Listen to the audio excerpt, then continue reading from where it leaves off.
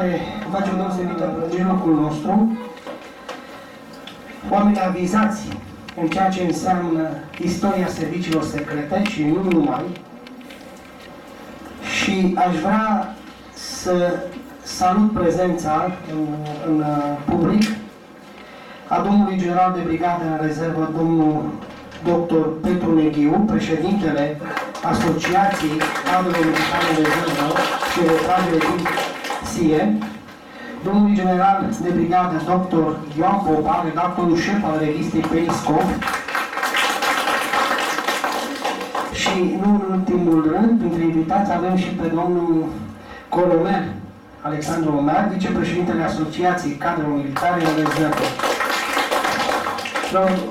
De asemenea, alături de noi este și domnul, uh, domnul Perișor, prezent aici, colonel, domnul colonel Perișor. De asemenea, cred că l-ați recunoscut deja pe domnul prefect, domnul Nicu Cornoia.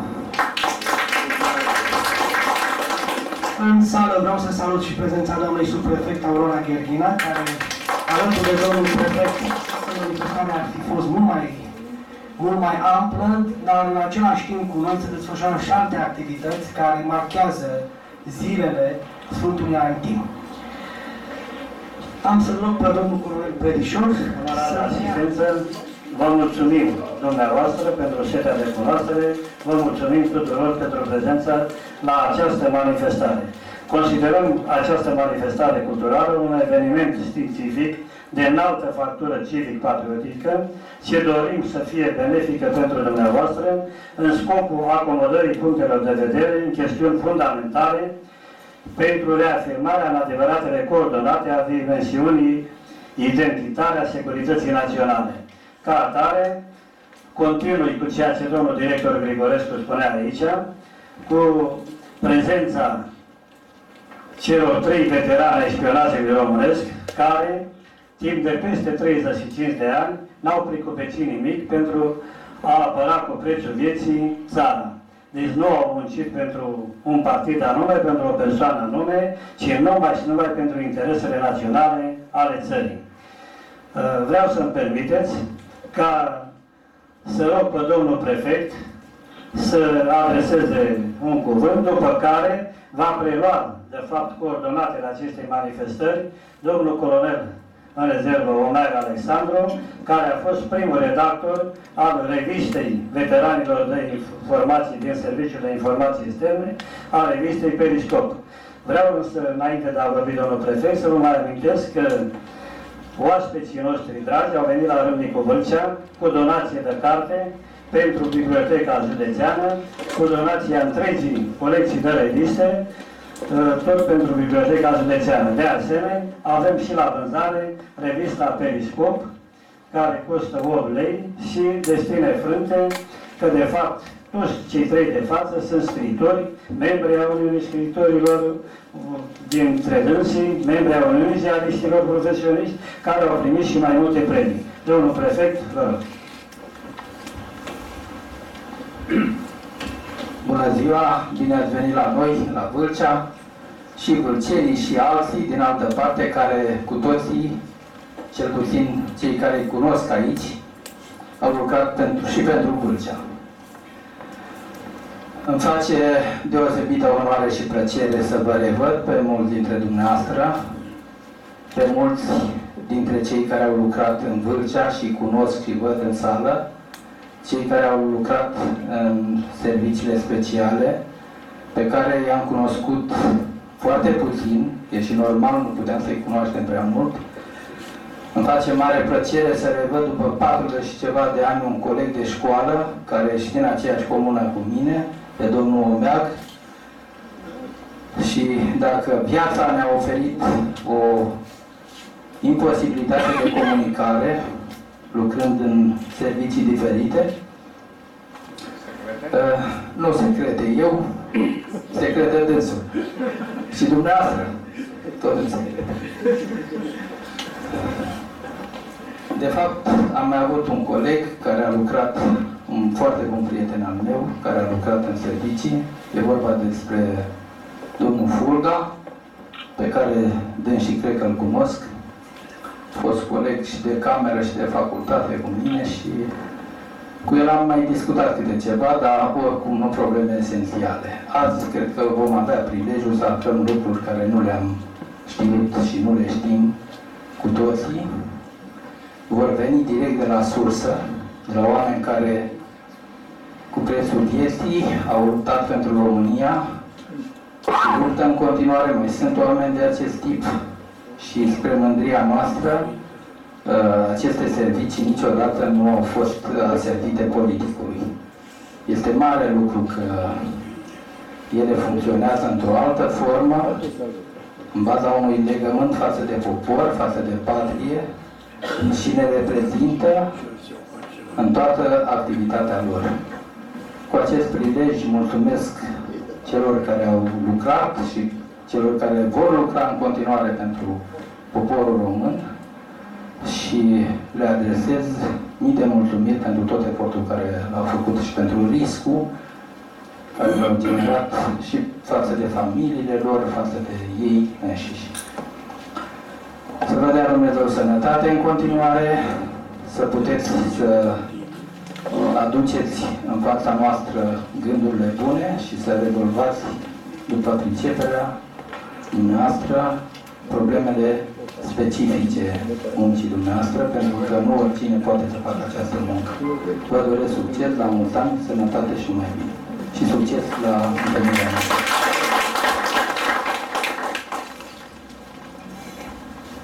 Mulțumim, domnule prefect. Aș vrea să rog pe domnul uh, președinte Neghiu, domnul general Neghiu, să vă adreseze câteva cuvinte, după care am să-i confisc eu microfonul până o să vă plictisiți dumneavoastră. Domnule președinte. Mulțumesc frumos. Domnule prefect, doamnelor și domnilor, stimat auditoriu, îmi face o deosebită plăcere ca ardelean ce sunt să mă aflu în mijlocul vâlcenilor. De fapt, până la Sibiu nu e prea mult.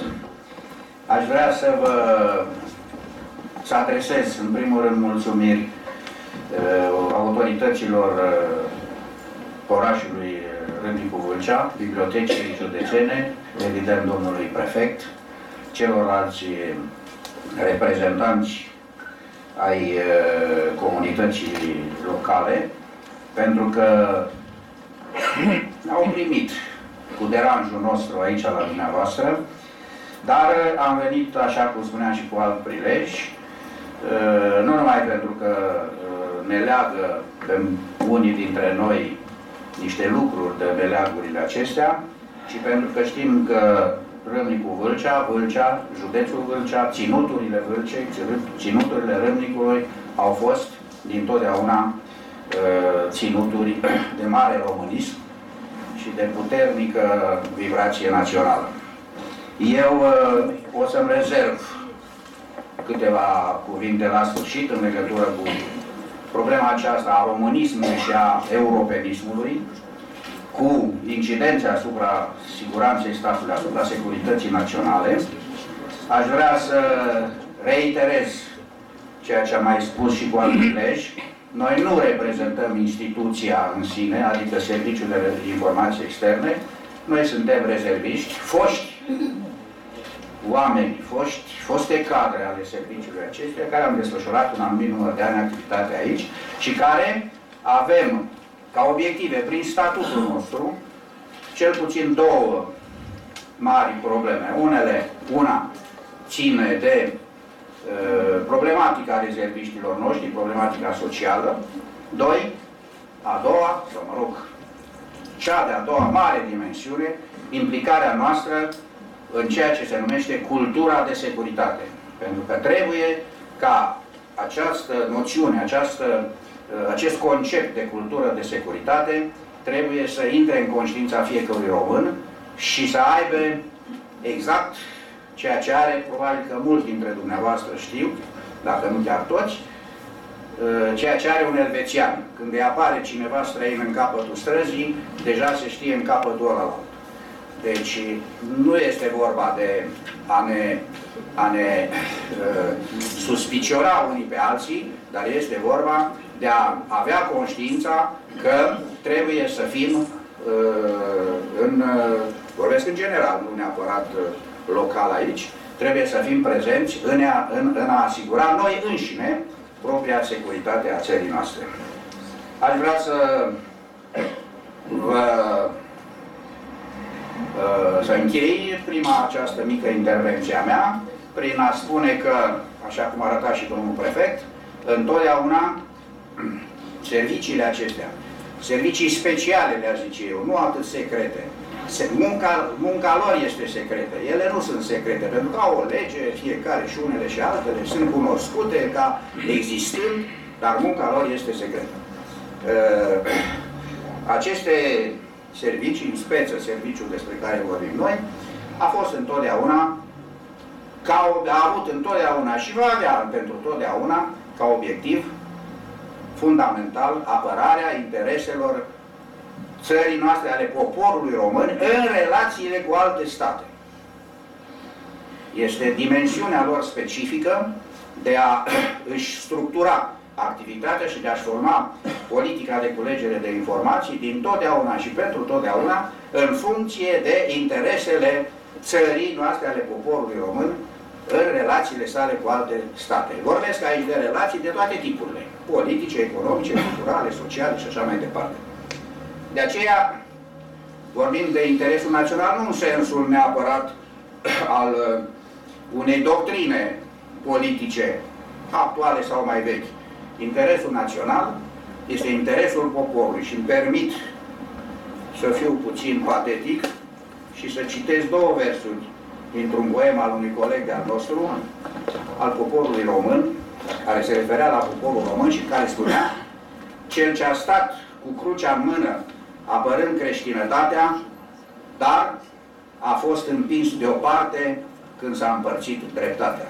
Cred că e un pic de adevăr și un pic de, uh, să spun eu, substanță în aceste două versuri, poate simple din punct de vedere poetic, dar care uh, spun uh, mult.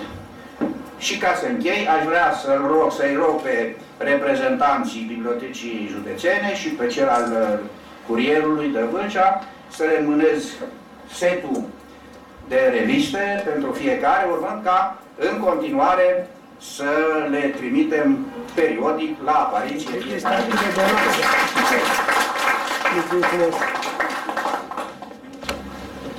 Mulțumim și noi, domnule președinte. Avem trei teme mari de discutat în cadrul acestui simpozion care se intitulează generos Istorie și servicii secrete. Sperăm să nu vă dezamăgim. Sperăm să vedeți în noi niște interlocutori normali, ca orice interlocutor pe care le aveți în viața de zi cu zi, dar care a lucrat o perioadă într-un domeniu, să spunem, uh, mai deosebit. Deși nu văd cu ce mai deosebit de, cel, de ceea ce face un chirurg sau un profesor. Uh, pentru început, uh, aș vrea să vă propun așa ca de încălzire o trecere în revistă asupra situației internaționale, cu accent pe modificările intervenite în ultima perioadă, inclusiv în sfera serviciilor secrete, aș vrea să mă întreb și să mă întreb în ce lume trăim? Nu vă întreb dacă trăim sau trăiți într-o lume mai bună, așa cum a promis unii sau alții. Aș vrea să întreb dacă suntem toți conștienți de schimbările care s-au produs în situația operativă internațională după distrugerea sistemului bipolar de putere și destrămarea Uniunii Sovietice. Nu apreciez eu dacă sistemul bipolar era mai bun sau mai puțin bun decât cel actual. Pot însă să constat ca specialist că în sistemul bipolar lucrurile erau într-un fel clare. Eu vorbesc din punctul de vedere al muncii de inteligență, de informații, de spionaj mai pe gustul presei. Lucrurile, să vă spun, erau clare. Erau doi dușmani, era clar. NATO și tratatul de la Varșovia. Bineînțeles, cu reprezentanților de stat, Uniunea Sovietică, de o parte, și Statele Unite. Deci, pentru orice ofițer de inteligență, dintr-o parte sau alta a baricadei, dușmanul era clar. Era clar, controlat și știa fiecare cu cine are dreptate. Au venit evenimentele din 1989. Fiecare le dormește în felul său. A apărut acest sistem bipolar de putere, a fost distrus. Uniunea Sovietică s-a destrămat, pe scena internațională au apărut noi actori, statali, dar mai ales actori nestatali, care nu mai au niciun stăpân, care au alte revendicări decât cele de natură teritorială și ale căror acțiuni sunt imprevizibile, impredictibile și greu de controlat. Dacă m-ar întreba cineva care sunt provocările pe care le, le trăim după destrămarea sistemului bipolar de putere, aș putea spune așa, pe scurt, fără o anumită ordine, că cele mai periculoase fenomene sau tendințe sunt apariția terorismului internațional în actuala formă, proliferarea nucleară, traficul de droguri și de persoane, atenție, nu acest fenomen migraționist de astăzi, de, pe care dacă vreți vom vorbi altă dată sau în pauză, că este mult de discutat. Așa? Uh, creșterea puterii militare a Chinei și, ca să închei, la nu, nu în ultimul rând, revenirea în forță pe scena internațională a Federației Ruse, cu toate consecințele pe care acum le vedeți sau le puteți desluși. Desigur că aceste schimbări au avut repercusiuni și asupra activității de inteligență. Structurile de informații au trebuit să se adapteze divers la noile provocări, să-și flexibilizeze uh, unitățile de acțiune, pozițiile, să-și diversifice tehnicile și mijloacele. N-am să intru în aceste amănunte, pentru că probabil le, da, le va detalia uh, altcineva. Vreau să vă spun că spionajul, spunea cineva, este, după prostituție, cea de-a doua, cea mai veche meserie din lume. La fel de onorabilă și incitantă ca și prima. Vreți dumneavoastră? Nu, nu, mă rog. Da, onorabilă. Uh, istoria, în general, memoria colectivă, uh, reține doar pe cei care au luptat cu arma în mână. Pe cei care au căzut la datorie și care au de adevăr, le datorăm tot respectul nostru. Sunt însă și acei luptători din umbră, în care cu modestie, cred că am putea, ne-am putea integra și noi. Acei luptători din umbră care au avut cel puțin aceleași merite ca și cei care au luptat cu armă, dar despre care nu se scrie de așa nimic, ale căror morminte uneori nu există.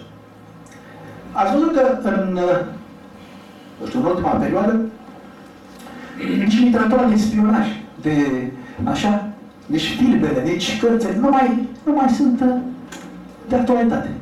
Nu se mai produc. De ce oare? Să fi căzut această muncă de inteligență în desuieturile sau arta spionajului a ajuns la o asemenea nivel încât ne este greu să mai deslușim ce s-a ascund în spatele anumitor acțiuni. Ca să nu vă țin prea mult, vreau să vă dau niște exemple de modul în care principalele servicii de inteligență sau de spionaj, cum vreți să le spuneți, s-au implicat în momente cheie ale istoriei moderne. Și am să mă refer, ca să nu o iau de la, din Biblie, da? să mă refer numai la perioada imediat pregătoare a războiului, al doilea război mondial și imediat după încheierea celei de-a doua conflagrații mondiale. După anul 1947, KGB-ul, da? Asta și da? Comitet Государственной Безопасности. Asta înseamnă la Comitetul Securității Statului. Da? Și CIA, da? Central Intelligence Agency. Deci cele două mari servicii ale celor două superputeri încercau să se implanteze cât mai bine în Europa distrusă de război, unde, e bine de reținut, comuniștii și, în general, forțe de stânga dețineau puternice legături și conexiuni în rândul forțelor, de, forțelor politice, al sindicatelor și cu simpatizanți mulți în rândul intelectualilor. Voi trece de două sau trei acțiuni de acest gen. Prima și cred că cea mai mare operațiune de implicare politică a CIA-ului în Europa a fost așa numita operațiune Gladio. În 1958, cred, îngrijorați de apropierea alarmantă dintre Partidul Comunist și creștini-democrații din Italia, CIA a primit ordin să dejoace cu orice mijloace o asemenea apropiere, sens în care a primit fonduri și resurse aproape, aproape, aproape nelimitate, sau uriașe, să vă spun. Probabil că vă mai amintiți că 62, 64, 66, acei ani de plumb a Italiei, o serie de atentate s-au produs în Italia, culminând cu asasinarea lui Aldo Moro. Odată cu asasinarea lui Aldo Moro, orice apropiere între creștini democrați și comuniști a căzut. Sunt uh, istorici, mă spun eu, citesc istorici, șef ai fostelor servicii secrete de la acea vreme, care arată cu degetul spre implicarea CIA și a Serviciului Secret Britanic, da? MI6-ul, în aceste operațiuni. Mai concret, ce invocă acestea? Invocă acea așa numită operațiune Gladio, de care vă spuneam, Sabia, nu? Probabil că așa se spune în latină. Preocupați, preocupați de posibilitatea unei invazii sovietice în Occident, CIA, CIA-ul și cu MI6-ul au pus la cale o rețea extraordinară numită Stand Behind.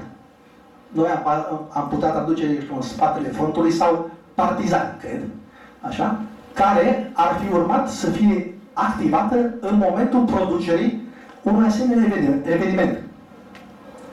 Această rețea, care funcționa sub patronajul NATO, de fapt, al Comitetului Reunit al acel cum se numește acum SACER, SACER, da?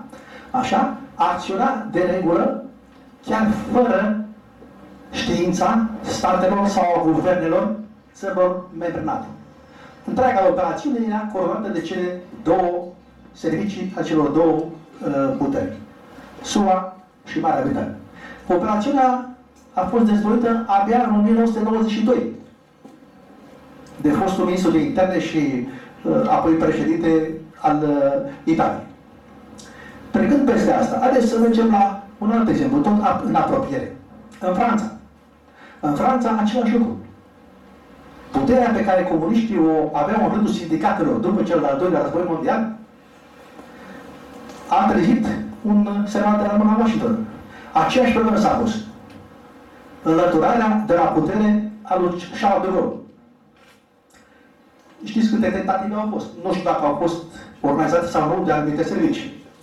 Cert este că după un anumit timp, până și americanii și englezii și-au dat seama că uh, De Gaulle este un nume cam tare pentru ei. Și atunci, ca orice serviciu care se respectă, exista și un anumit plan B. Acel plan B a constat în discreditarea liderilor comuniști și socialiști, în crearea de tensiuni între liderii sindicali. Mai mult, au înființat o nouă organizație sindicală cu fonduri deosebite care să preia întreaga conducere de la Confederația Muncitorilor, da? care uh, dispunea de o forță uriașă. O altă, o altă direcție a fost înlăturarea tuturor intelectualilor cu vederi de stânga din instituțiile formatoare de opinie din Franța. Scopul îl bănuiți de sigur, da? Să nu poată să facă adenți în rândul tinerilor. Uh, și, așa, por, por la bombuș, uh, am încercat după venirea putere a lui François Mitterrand, dați-vă seama ce, ce, ce nu, nu ce lovitură, ce îngrijorare la Washington când François Mitterrand da, ajunge la putere, președinte, iar în guvernul uh, construit apar și miniștrii comuniști. Becrulețul de la Casa Albă s-a aprins din nou, iar CIA a primit un ordin la fel de clar.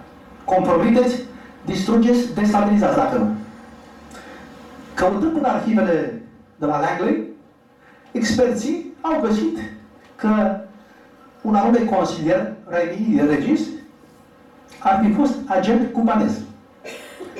Acum, între noi fie spus, exista un dram de adevăr. Acest Regis uh, fusese arestat în Bolivia, anchetat de autoritățile boliviene și de cele americane, acuzat de spionaj în favoarea Cubei. Numai că el a ținut o ura și bună, domnule, eu sunt ziarist francez și am venit să iau un interviu lui Che Guevara. Condamnat la moarte, a fost uh, eliberat după trei luni în urma presiunilor internaționale. E, s-a declanșat o asemenea campanie în presa controlată de uh, cercurile anglosaxone uh, la adresa acestui consilier personal al lui François Mitterrand, care ar fi trebuit, în uh, opinia organizatorilor, să-l compromite pe Mitterrand însuși.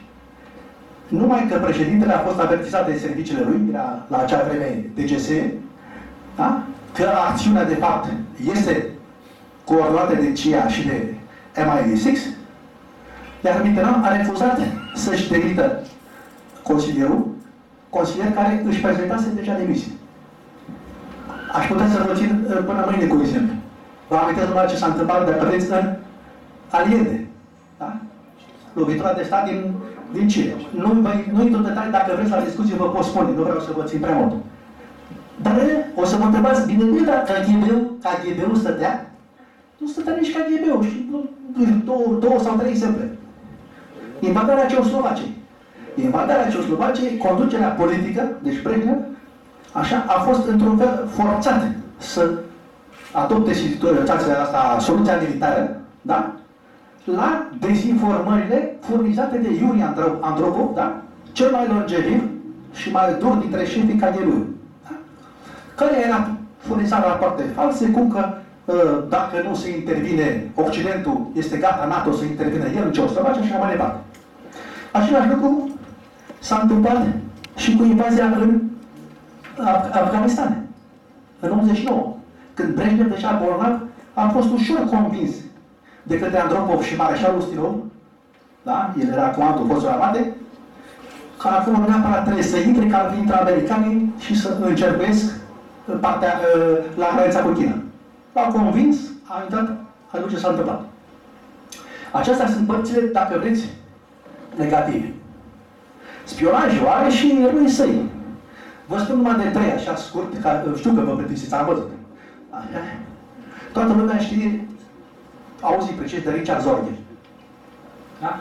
După părerea mea, unul dintre cei mai buni ofițeri de inteligență, unul dintre cei mai buni agenți pe care uh, GRU, Serviciul Militar, a informat de informația armatei sovietice, l-a avut. Uh, știți, este vorba despre un, uh, un tânăr neam, da?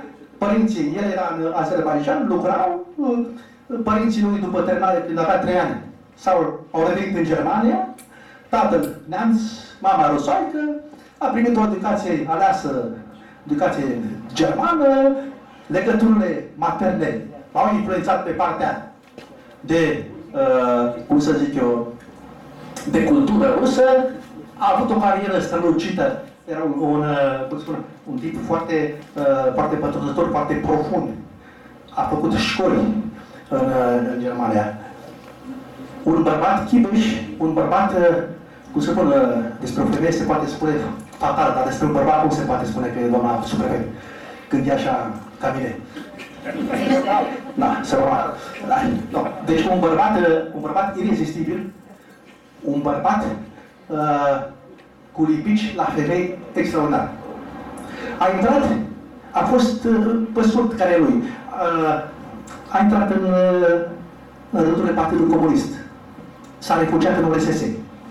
a fost recrutat în ORSS, l-au retrimis în Germania cu sarcina să intre în partidul nazist, recent înființat. A intrat în partidul nazist. Vreau să vă spun că Zorghe n-a fost niciodată nazist. Așa? Numai că uh, și nici, și nici bețiv. Cele două, uh, cum să spunem, în ghilimele, defecte ale acestui mare agent erau, de fapt, legende, de fapt, ca să susțină versiunea, să-și acopere munca lui. Da? Uh, surprinzător că, deși el critica, el a criticat nazismul, nu a fost anchetat de naziști, din potrivă, a zis uh, conducătorul naziști, spunea așa, domnule, ce iată, păi dacă cineva are curajul să ne critique pe noi, aici la noi, un neamț, înseamnă că la noi nu merge ceva bine. Bun, a fost trimis uh, apoi în, uh, în Japonia, aici a fost principalul misiune, misiunea a fost să spună dacă Japonia va dori să atace în extrem orient. Zorghe și-a făcut rețea, o mulțime de, o rețea bine implantată în medii, în uh, medii de interes, cel mai bun om al său, un ziarist, un ziarist nipon, prieten apropiat cu primul ministru. A transmis periodic informații care au permis uh, sovieticilor să-și disloce trupe din est pe frontul din la, din Pădon. La început vreau să vă spun că Stalin nici nu a crezut în asemenea informație. Da? El spunea la un moment cine, cine acest bețiv curvan care e precis că s-a îmbogățit acolo. Nu. Am putut să vă spun, George a, uh, Zorghi a suferit un accident în primul război mondial și uh, a rămas cu un defect la picioare și cu niște degete la umără tăiate. Viața aventuroasă pe care o ducea i-a creat o acoperire fantastică. Nu vă mai țin cu acest Zorghe. De ce a căzut? Forțând să transmită anumite informații, da? un micuț agent cu o croitoreasă au căzut în mâine poliției nipone, Chemtai, care a ajuns la acel ziarist și acel ziarist s-a aruncat pe fereastră ca să nu spună nimic. Nenorocul a fost că nu și-a pierdut viața și târât așa cum era în beciole poliției, a mărturisit, i-a spus despre Zorghe. Zorghe a fost arestat, bătut, torturat, până am spus, ă, vă promit că vă spun orice, chiar mai multe decât ar trebui să știți, cu condiția ca toate ă, soțiile agenților mei și a mea, era căsătorit cu o chelneriță japoneză, să nu sufere nimic. Japonezii s-au ținut de cuvânt. Întrebarea este de ce nu a fost, n-a fost schimbat ordine. El a fost executat, s-a trăit la închisoare. Timp de trei ani de zile nu s-a întâmplat nimic. Abia acum, uh, studiind arhivele, uh, descoperim că niponii au propus de multe ori să facă un schimb de, de prizonieri, pentru că rușii aveau destui prizonieri japonezi. Stalin și cealaltă ce noi nu cunoaștem pe acel cetățean. Deci, agentul Ramsey, da? așa se numea, a murit fără să fie recunoscut de URSS. Și totuși cum? Că acum este rău. Vă spun eu, foarte simplu. Uh, acum vreo 40 de ani a apărut filmul Cine ești dumneata, domnule Zorghe? Care relata chiar viața acestui film, la care Nikita Sergeevich Khrushchev, văzând filmul, i-a chemat pe de la KGB ce mai E adevărat ce spune ăștia în film, că da, Păi și de ce? Au făcut erou, l-au reabilitat, așa, i-au dat o pensie soției lui din Japonia și așa mai departe. Eroi de acest gen există și în alte servicii. La Mossad, de exemplu. Războiul de Yom Kippur. Da? Președintele, directorul, directorul general al Mossadului, cu două zile înainte de atac, da? a fost chemat la o întâlnire de urgență la, la Londra de către unul dintre cei mai buni agenți. Acest agent era fiul fostului președinte egiptean. Lasă refugia la Londra. Nimeni nu credea că se va produce acest atac. Era o dublă sărbătoare, Yom Kippur la, la, la evrei, Ramadanul la, la musulmani. Nimeni n-a vrut să creadă. O să mă întrebați, bine, dar românii n-au eroi, nu? Avem și noi. Gândiți-vă la, nu știu, nu, vă mai spun că le gândiți și noastră. Eroii de la voi sunt, sunt mai mult de cunoscuți. Am să încerc să mă opresc aici. Am și alte exemple. Haideți să vă spun că avem și noi eroi noștri. De exemplu, Ceaușescu a știut cu o zi înainte de războiul uh, de șase zile. Cu, spun la în Israel, un fost coleg al nostru era duminică și era spre încheierea misiunii și și-a vizitat o, o relație cu un șocar, un evreu din România, care făcea coja, să-și facă un lemn de rău. L-a găsit pe, pe acest cojocar foarte supărat și îngrijorat, deci și a spus, de ce ești? Ce mai, ce mai băiatul meu, care, care a stat major la, la forță, la defense, a fost chemat de urgență și toți, că, că mâine atacă Golanul și aici. Colegul nostru a venit la, la locul de muncă, s-a gândit ce să fac, n-am, nu, neverificat, a transmis o asemenea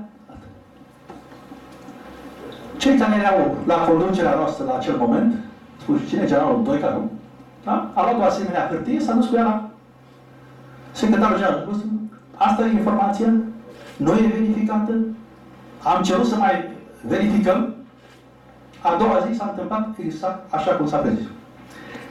Vorbeam de acea evoluție în situația internațională și repercusiunea asupra structurilor de inteligență. Cred că pentru asta, eu oricum m-am plictisit destul, am să rog pe colegul meu, pe generalul Popa, da? să mai calmeze puțin uh, discuția da? și să vă da niște detalii mult mai interesante decât uh, istorioarele mele. Domnule Geana, aveți microfon. Lasă modestia, nu o parte. Onorate gazde, stimați invitați, am venit cu mare deschidere la Vâlcea. Știm că este un oraș cu o viață spirituală foarte intensă. Așa că uh, ușile și primirea a fost foarte frumoasă. Ca semn al respectului nostru pentru dumneavoastră, pe lângă seturile de reviste de care, pe care le-a prezentat domnul președinte, am mai adus două seturi de cărți pentru bibliotecă și pentru ziarul Curierul de Vâlcea. Este vorba de memoriile primului președinte al Republicii Moldova. Sunt șase volume. Sunt foarte interesante pentru cine dorește să cunoască istoria Republicii Moldova de la desprinderea de URSS din 89, 90, 91 până în primele, primul mandat al lui Mircea Znegur. Cred că va fi încântat să știe că un set din memoriile lui, care sunt pline de mărturii directe, de documente declasificate, se găsesc aici la Vâlcea.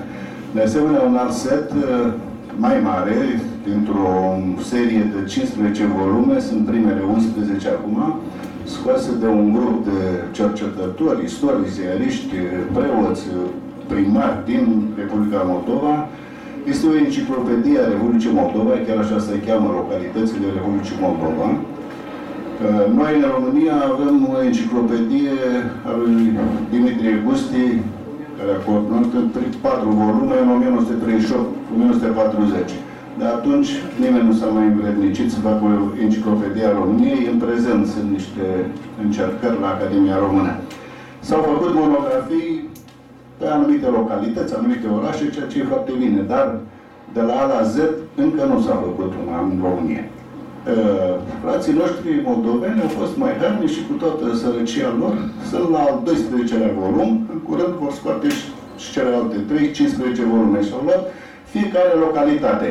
În ordine alfabetică, la orașe, cum ar fi Chișinău, sau câte 15-20 de pagini, la altele sate, comune, sunt câte o pagină, două, trei, sunt scrise de autori care sunt localniști, deci fiecare și-a scris istoria propriei localități și acolo găsim de la atestare documentare până la cine sunt eroi în diverse momente istorice, cine sunt, au fost victime, cum s-a derulat istoria. Oricum, după primele trei volume care au apărut prin anii 2000, când a venit Voronin la putere, au declarat că este o carte antirusă și pro-românească. De fapt, nu veți găsi aici nici antirusism, nici pro-românească. E o istorie adevărată. Pur și simplu, ei nu se regăseau acolo, pentru că toate localitățile basarabene, când începe istoria și atestarea documentară, sunt origini românești. Istorii cu poet român, cu nume românești, localități românești și ei nu se mai regăseau și au spus pe antiruși. Deci este o lucrare foarte interesantă și cred că aici, pentru cei interesați, pot să găsească acolo detalii foarte interesante. Acum revenim la tema noastră, care este foarte vastă, dar Sper că în întâlniri viitoare vom focaliza pe o anumită temă sau pe o anumită lucrare. Dar acum, fiind așa mai vastă, putem să ne permitem să navigăm pe mai multe uh, valori. Am mai spus și mai devreme, serviciile secrete, deci de-aia sunt secrete, să se vorbească cât mai puțin sau deloc despre ele.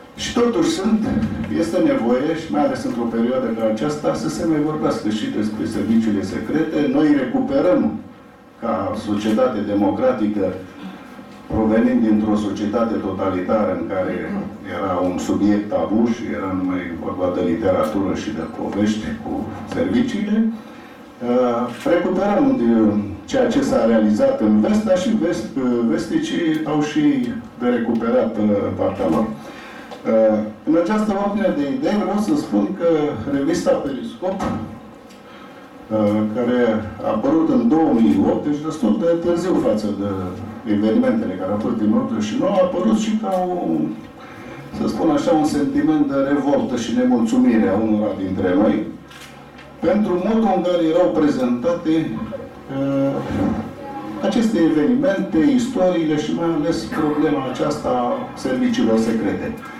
Știți foarte bine, nici nu vreau să intru în amănunte, cât uh, noroi și cât uh, lucruri mordare s-au spus în primii ani de după 1989.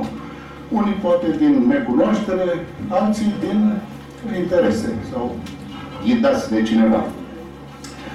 Oricum, prin uh, au trecut ani și campania aceasta de denigrare a serviciilor a continuat, pentru că serviciile au rolul lor de Uh, sistem uh, imunitar al statului de a apăra anumite principii, interesul național și clar că deranjează pe cei care vor să exact să submineze aceste interese.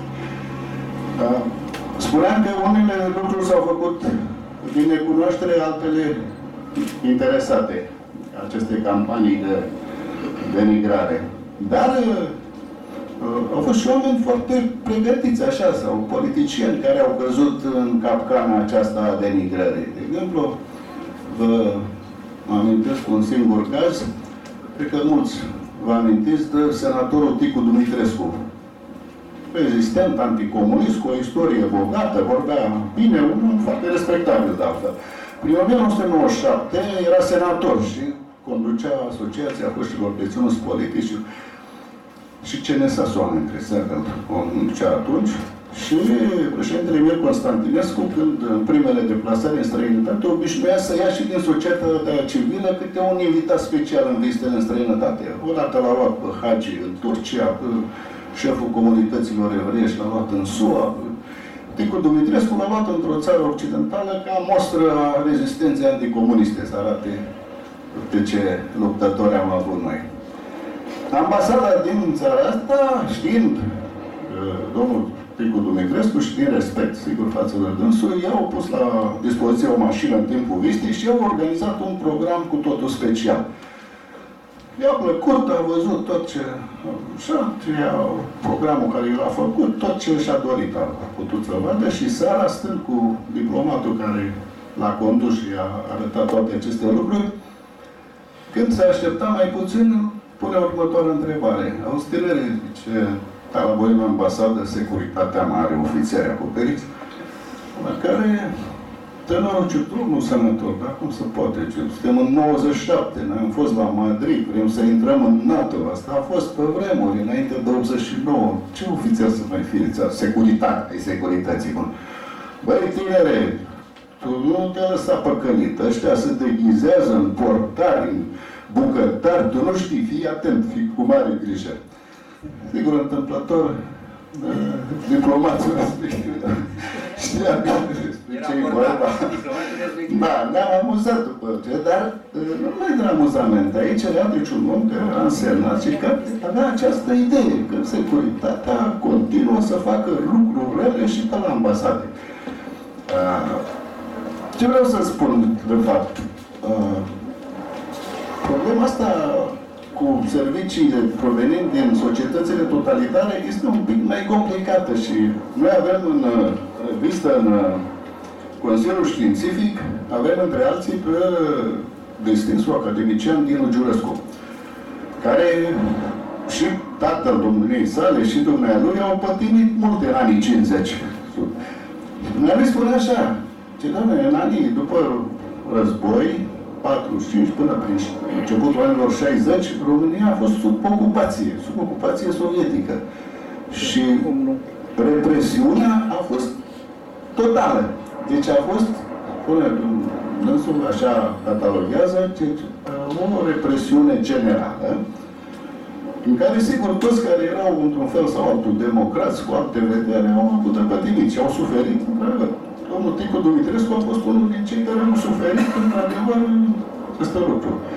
După 1965, s-a trecut la o altă etapă și, sigur, domnul Giurescu spune că este o etapă a supravegherii generalizate. Deci, în altă manieră de a se exercita controlul asupra societății civile, dar uh, fără represiunile care au fost în anii de ocupație. Deci, mulți au trecut de la ocupația asta sovietică, au generalizat securitatea ca poliție politică și au împins-o până în 89 și până în zilele noastre. Uh, Despre societatea totalitară, sigur, uh, există documente, există lucruri care acum pot fi foarte bine clarificate. Una din cărțile care este aici prezentă analizează chiar perioada asta cum sunt folos, cum au fost folosite uh, serviciile secrete în primele decenii de bolșevism în Uniunea Sovietică, deci sub Lenin și Stalin. Și unul din miturile care sunt uh, combătute, știți că istoriografia sovietică a prezentat că Lenin a fost un sfânt, un revoluționar adevărat, Stalin a fost cel care a deturnat și a făcut crime. Nu, Lenin a fost cel care a dat primul semnal, a fost primul criminal din istoria rușilor și Stalin sigur a dat dimensiuni monstruoase acestor crime. Dar și unul și altul sunt aceeași linie de conduită. Uh, în timpul lor, deci represiunea făcea parte din teoria centralizată și din legile statului. Sigur că la un moment dat, când Stalin a devenit dictator absolut, nici el nu mai spunea că totul e în serviciul lui.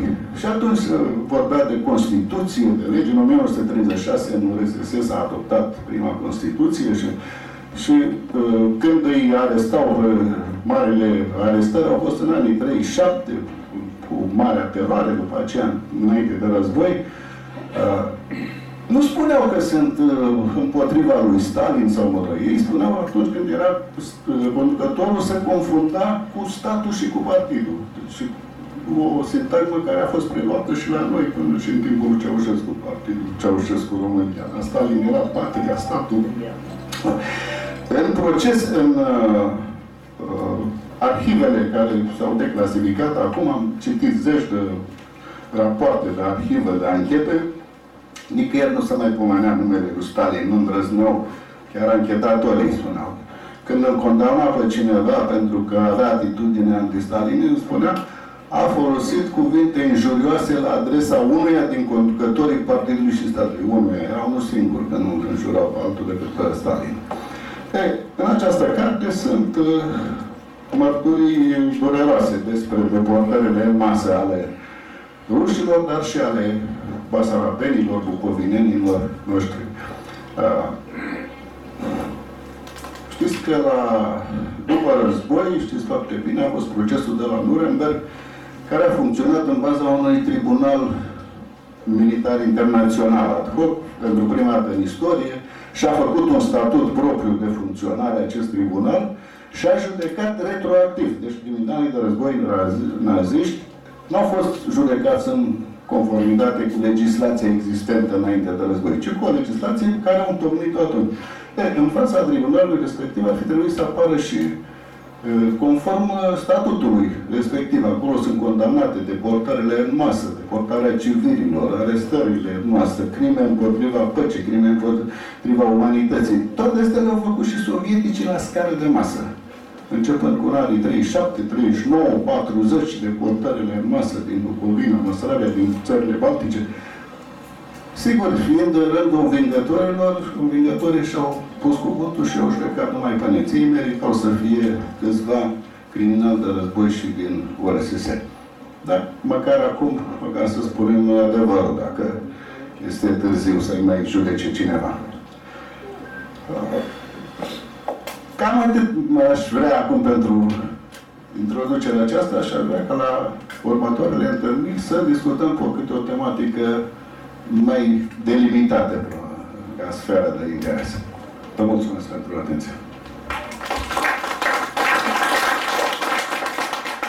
Mulțumim, domnul general. Ca de obicei, domnul general ne surprinde cu cunoștințele sale de istorie și de cunoștințele pe spațiul post-sovietic, dar nu suntem nici noi mai prejos. Tot pe spațiul post-sovietic, să vă mai țin de vorbă măcar două minute, ca să vă povestesc despre atenția specială, în ghilimele, care au acordat, care au acordat KGB-ului României. Și asta începând după, după anii 70. Uh, datele sunt culese din mărturile unui spion sovietic care a trădat în vest, colonelul Mitrohin, da? Probabil că ați auzit de lucrarea lui, Arhiva Mitrohin, da? Și care, referindu-se la România, vorbește despre așa numită acțiune progres în care, pentru prima oară, după 1970, conducerea KGB-ului a hotărât folosirea ilegalilor sau cârtițelor sau acoperiților, cum vreți să spune, și în România. Pentru cei mai puțin familiarizați, deci nu cred că există aici așa avansată, cu uh, limbajul de inteligență, ofițerii, deci acei acoperiți sau fantome sau cum vreți să le spuneți, erau cei care nu beneficiau de acoperire diplomatică. Erau cei care plecau comercianți, ziariști, orice vreți, cu nume false, cu nume adevărate, cu, cu biografii false. Ca să vedeți cât de importantă era pentru ei România, deci din uh, numărul de agenți care s-a hotărât să fie trimiși în Est, situația se prezintă cam așa.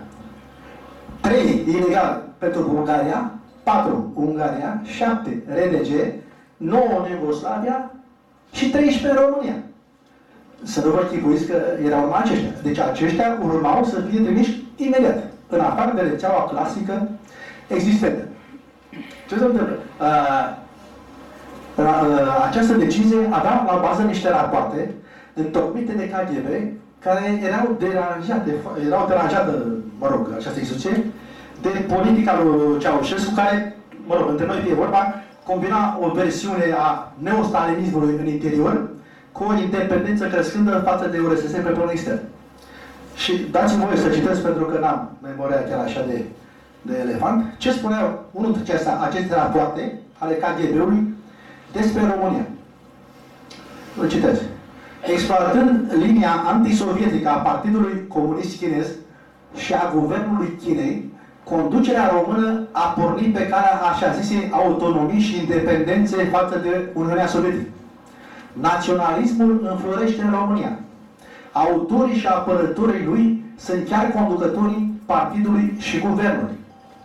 Conducătorii PCR nu și exprimă deschis pretențiile teritoriale, dar fac totul pentru a dovedi că istoric, etnic și din alte puncte de vedere, Moldova și Cernăuți aparțin României.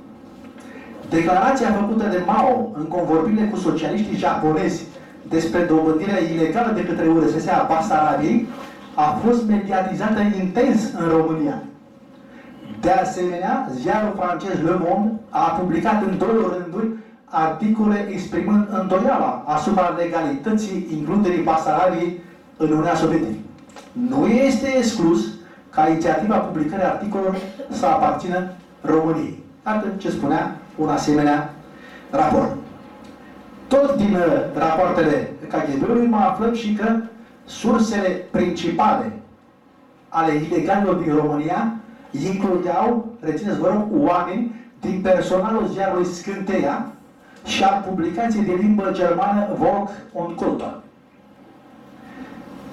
Vă mai rețin cu o două minute cu încă o problemă și vă promit că nu vă mai obosesc. Două servicii sunt, după părerea maestre, ale dezinformării.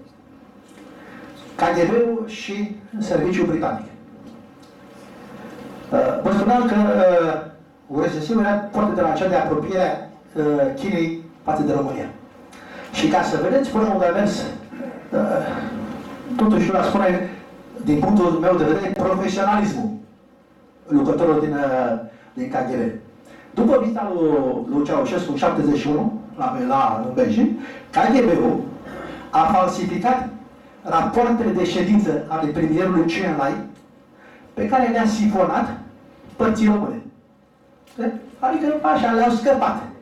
Din aceste rapoarte rezulta că uh, Joe Lai, premierul, da, îl considera pe Ceaușescu drept o marionetă și că, de fapt, România era uh, condusă în realitate de Ion Gheorghe Maurer, Maurer și se pregătea preluarea conducerii de către Bonraș.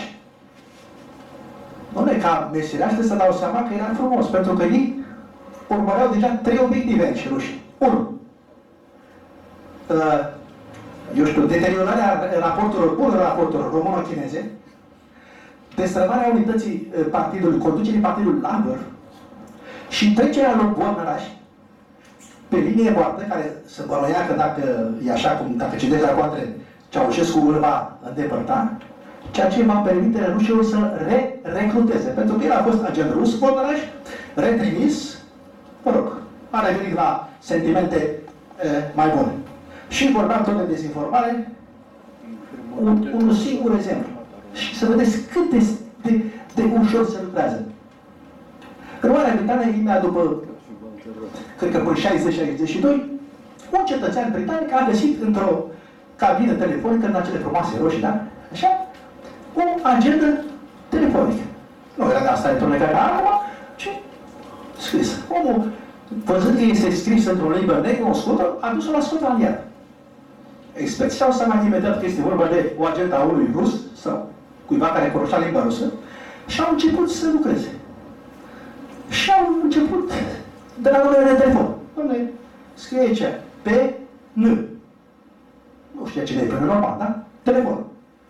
Când verifică telefonul, telefonul aparținea generalului Max, să zicem, uitându-se în biografia lui, vedea că acest Max, generalul Max, din forțele navale, s-a întâlnit cu rușii pe o frecată la un congres, în 52. Opa, suspect.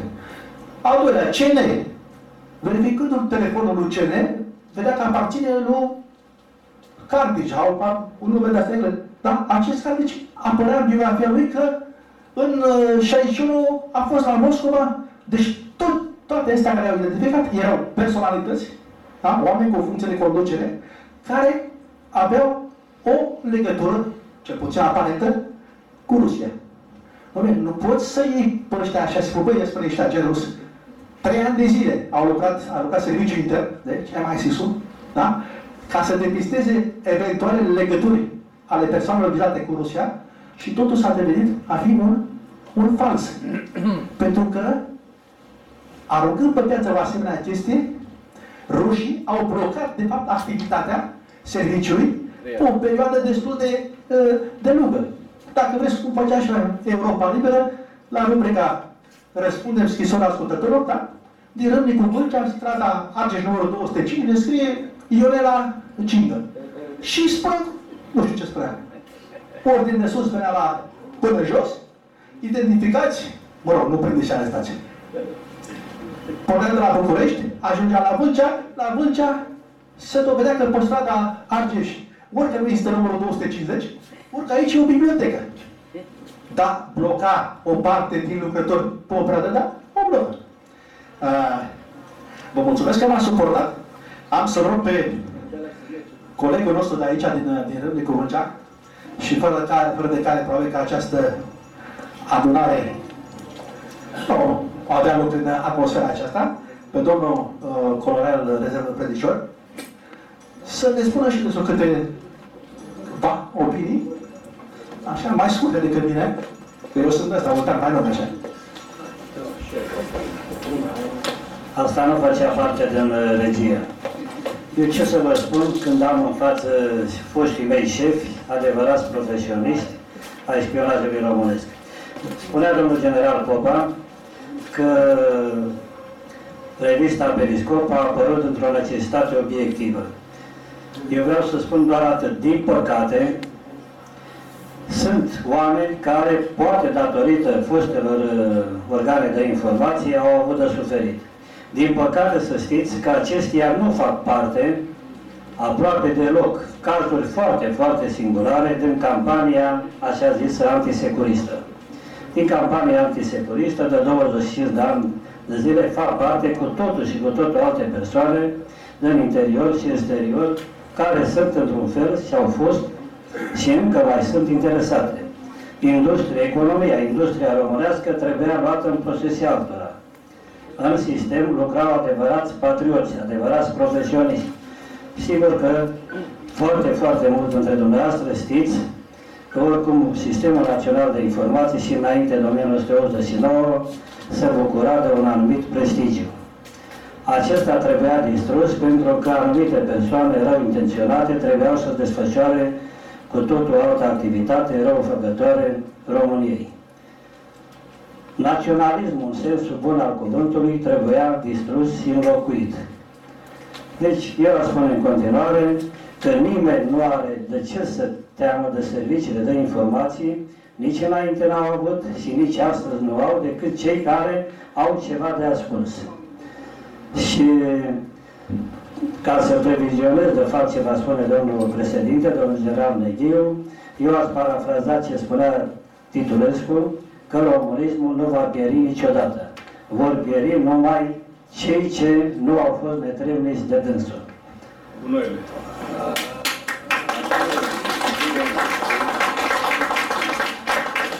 Profund.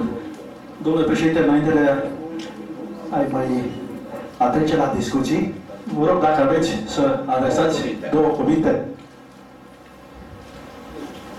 N-aș vrea efectiv să vă țin absolut deloc prea mult.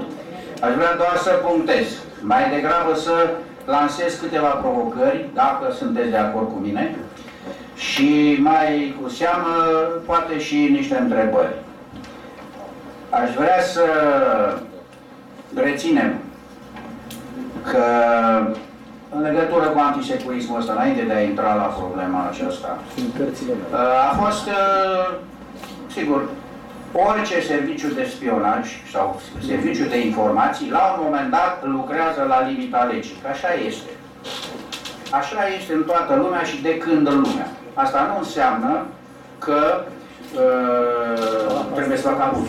De acord. Mai are serviciu de spionaj extern, lucrează absolut în afara legii de acolo. Deci încalcă toate legile de acolo. Mai puțin alea de circulație, că îi prinde polițistul și îl ia de gură, chiar dacă are imunitate. Problema este, și vă pun prima întrebare, Probabil că vă întrebați, domnule, ce are românismul și europenismul cu securitatea națională?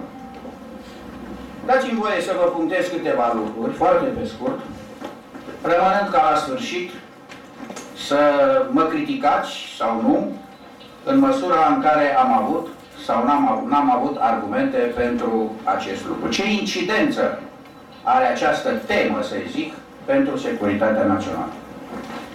Foarte pe scurt, în lume trăiesc uh, la ora actuală vreo 7 miliarde de suflete, da? Din care vreo 3 miliarde și ceva se scoală în fiecare dimineață și se duc la muncă. Mă rog, depinde când vine dimineața pe fusele orare, dar tot acolo suntem. E bine, 7% din acești oameni trăiesc în Europa. Deci dacă facem o socoteală 7 ori 7, cam 490 de, cam în jur de o jumătate de miliard în Europa care distribuie, atenție, jumătate din asistența socială a lumii. Deci dacă e să dăm o definiție a Europei, asta este definiția. Deci 7% din populația globului asigură jumătate din asistența socială a mapamondului. De aceea, uh, ochii sunt acintiți spre această entitate, spre Europa. Europa a devenit un model, a devenit uh, un mod, o civilizație pentru care ați văzut unii vin pe jos sau pe valuri sau cu plutele peste mări și peste țări și pe calea ferată și peste tot. Fie să profite de pe urma acestei situații, acestui statut al Europei, fie să se integreze. Integrare complexă, despre care nu știu dacă e cazul să vorbim acum. Problema este această Europa este ea solidă nu, nu, nu atât pentru cei care vin de pe nu știu ce colțuri ale lumii, cât pentru membrii săi. Europa, mă refer, când mă refer Europa, vorbesc Uniunea Europeană. Uniunea Europeană este plină de vulnerabilități la ora actuală. În primul rând, nu are o Constituție. Și nu are o Constituție din uh, niște motive foarte, sau dintr-un motiv, în principal, foarte interesant. Nu există consens în legătură cu faptul dacă în această Constituție va trebui sau nu să se menționeze că Europa este creștină. Deci ajungem la un concept de civilizație, un concept de cultură care dezbină da capul, din capul locului uh, Europa, dezbină, sau măcar cel puțin nu unește în integralitate. Se aud voci tari de tot că ortodoxia, fiindcă discutăm despre Europa creștină, ar fi incompatibilă cu, pre, cu principiile democrate. Și că numai, știu eu, dreptul canonic romano-catolic, care se constituie în cele 80.000 de pagini ale așa numitului achii comunitar, ar fi cel pe baza căruia să se, să se, să se fundamenteze Europa. Aș vrea să vă pun o a doua întrebare. În cazul în care, mâine, se decretează de mâine voi toți românii, voi toți grecii, voi toți, ce mai sunt, bulgarii și cine mai sunteți ăștia, sunteți romano-catolici. Dar sunteți integrați în Europa. Ar fi o coeziune în Europa în situația asta? Nu, nici nu. Doi la mână. Doi la mână. Ce vrem să facem din această Europa? Se vorbește de Statele Unite ale Europei. Statele acestea unite ale Europei, mă rog, probabil că ne duc cu gândul la Statele Unite ale Americii sau la, nu știu, o republică federală de tipul Germaniei sau nu știu, da? unde sunt niște, niște entități care sunt legate pe niște principii.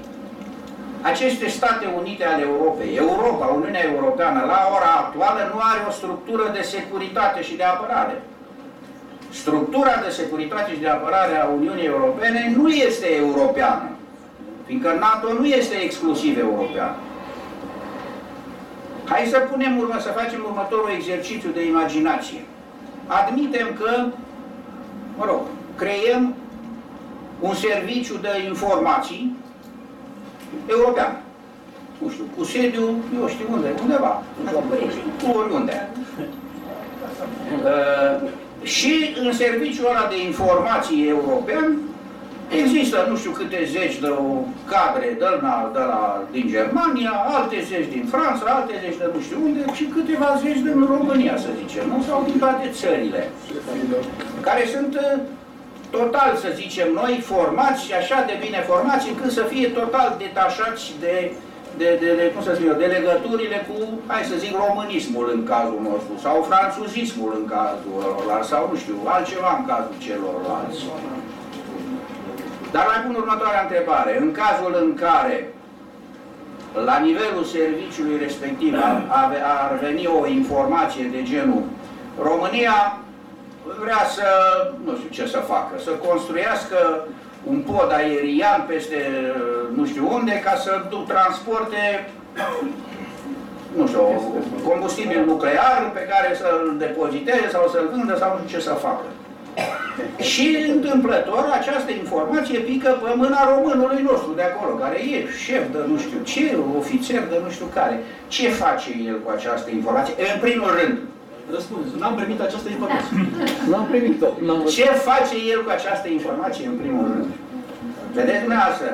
Deci nu este așa de, de, de, de simplu să integrezi să integrezi în totalitate. Pentru că se spune de noi, domnule, dumneavoastră sunteți de iure, sunteți cu un picior în curs, mă rog, de iure sunteți în Europa, dar de fapt sunteți cu, cu nu știu, pravoslavnicii greco-constantinopolitani, cu, nu știu, pravoslavnicii moscovici și așa mai departe. Sunteți cu un picior în Europa și cu unul în altă parte. Și că uh, Occidentul se oprește pe crestele Carpaților. N-a trecut nici măcar un metru de vârful retezat. Dați-mi voie să, vă, uh, să, să, să insist pe faptul că o astfel de punere a problemelor, care nu este fantasmagorică, fa- fantasmagorică, ea este gândită, ea a fost exprimată și nu, nu știu, de la cafenea sau într-o mică adunare cum suntem noi aici, ci a fost exprimată cu voce tare în locuri care, care cum să spun eu, uh, au rezonanță și au putere de decizie. Mergând mai departe,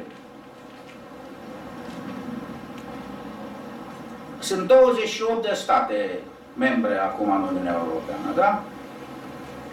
Se spune despre ele că există un decalaj de democrație.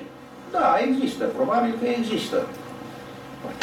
Dar decalajul ăsta de democrație, de ce trebuie să fie, cum să spun eu, incriminat, propunându-le celor cu democrație mai puțin dezvoltată sau mai puțin consolidată, cum se vorbește prin, prin mă rog, medii, uh, propunându-le alte fantasmacorii și alte nedemocrații. Este asta o problemă de securitate națională a României actuale, vorbesc. Este.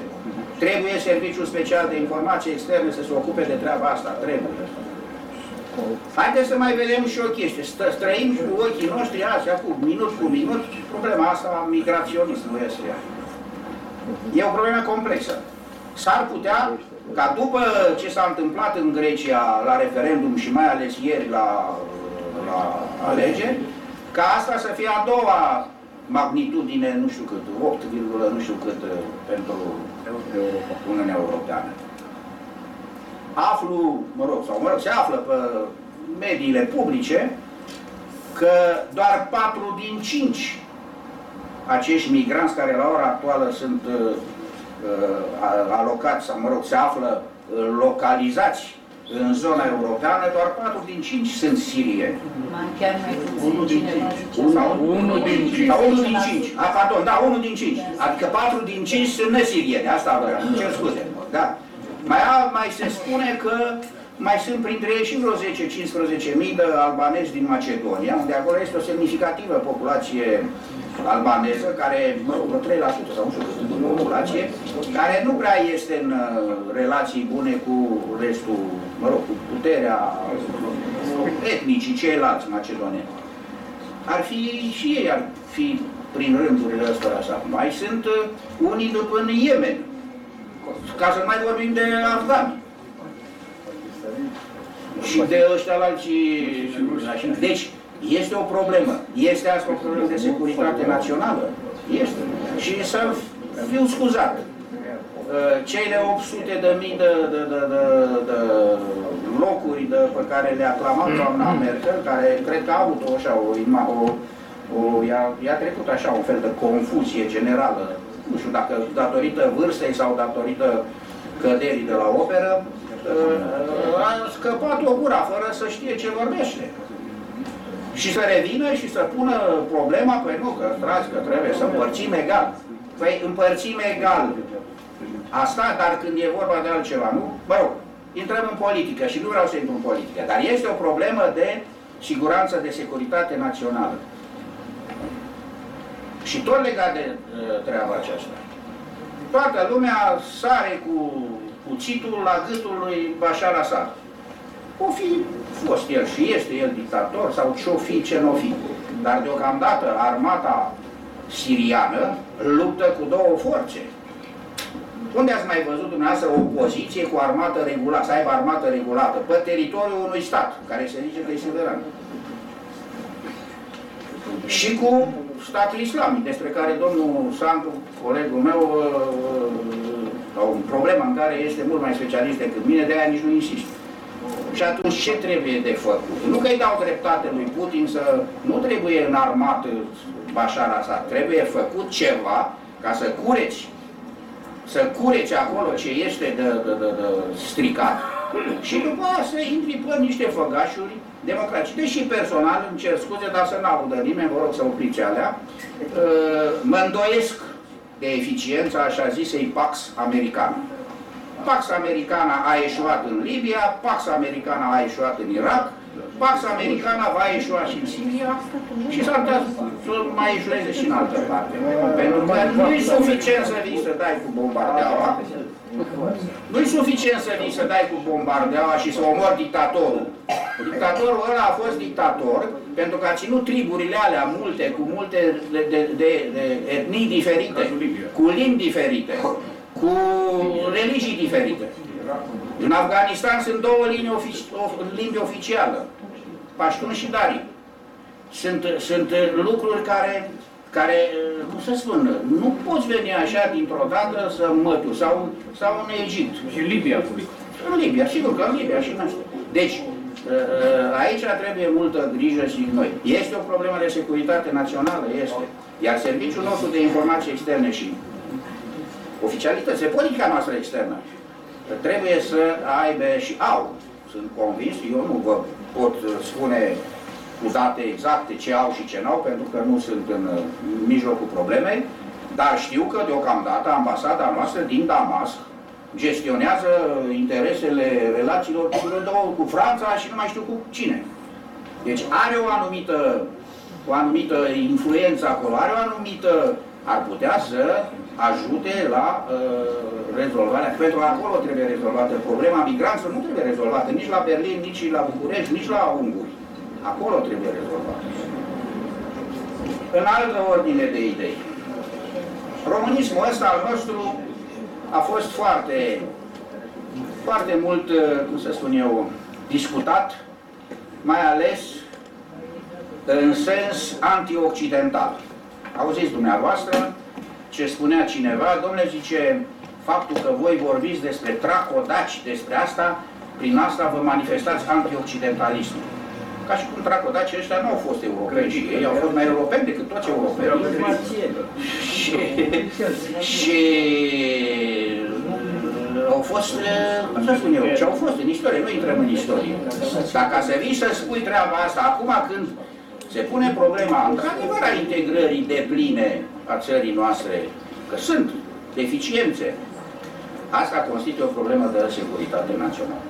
Sau, mergând mai departe, ă, aș vrea să ă, închei spunând că, într-adevăr, criza, criza Europei, criza Uniunii Europene ă, este, este destul de acută. Se spunea la un moment dat, și vreau să vă dau uh, un citat,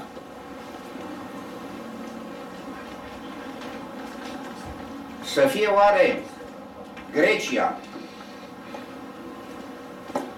cu 0,3% din economia mondială și 1,7% din cea europeană sau valul de migranți Buturugile mici ce, va, ce vor răsturna carul mare al Uniunii Europene, tare mă tem că vor mai veni și alte buturugi. Pentru că, dacă vă amintiți, premierul britanic a câștigat alegerile pe tema referendumului. temă însușită de regină prin mesajul tronului. A spus, da, facem referendum și urmează prin primăvară sau nu știu când să facă ei un referendum. Se vorbește foarte, nu numai pe ascuns, dar foarte făciș și prin uh, Franța și prin Italia, mai ales în Italia. Despre treaba aceasta. Deci, în formula actuală, în formula actuală și subliniez, Uniunea Europeană este în criză. Care va fi formula următoare? Rămâne de văzut. Este o problemă de securitate națională treaba asta? Este. Trebuie să știm unde mergem de abușilea? În care Europa? În asta în care se prăbușește, mă rog, se clatină, se zvârcolește, se este lovită? Sau într-una care, care, uh, în care mergem așa cum suntem? Și închei, dacă cineva mă, mă va întreba cât la sută am românism în mine și cât la sută am euro, europenism, o să-i spun am 100% românism și 100% europenism. Vă mulțumesc!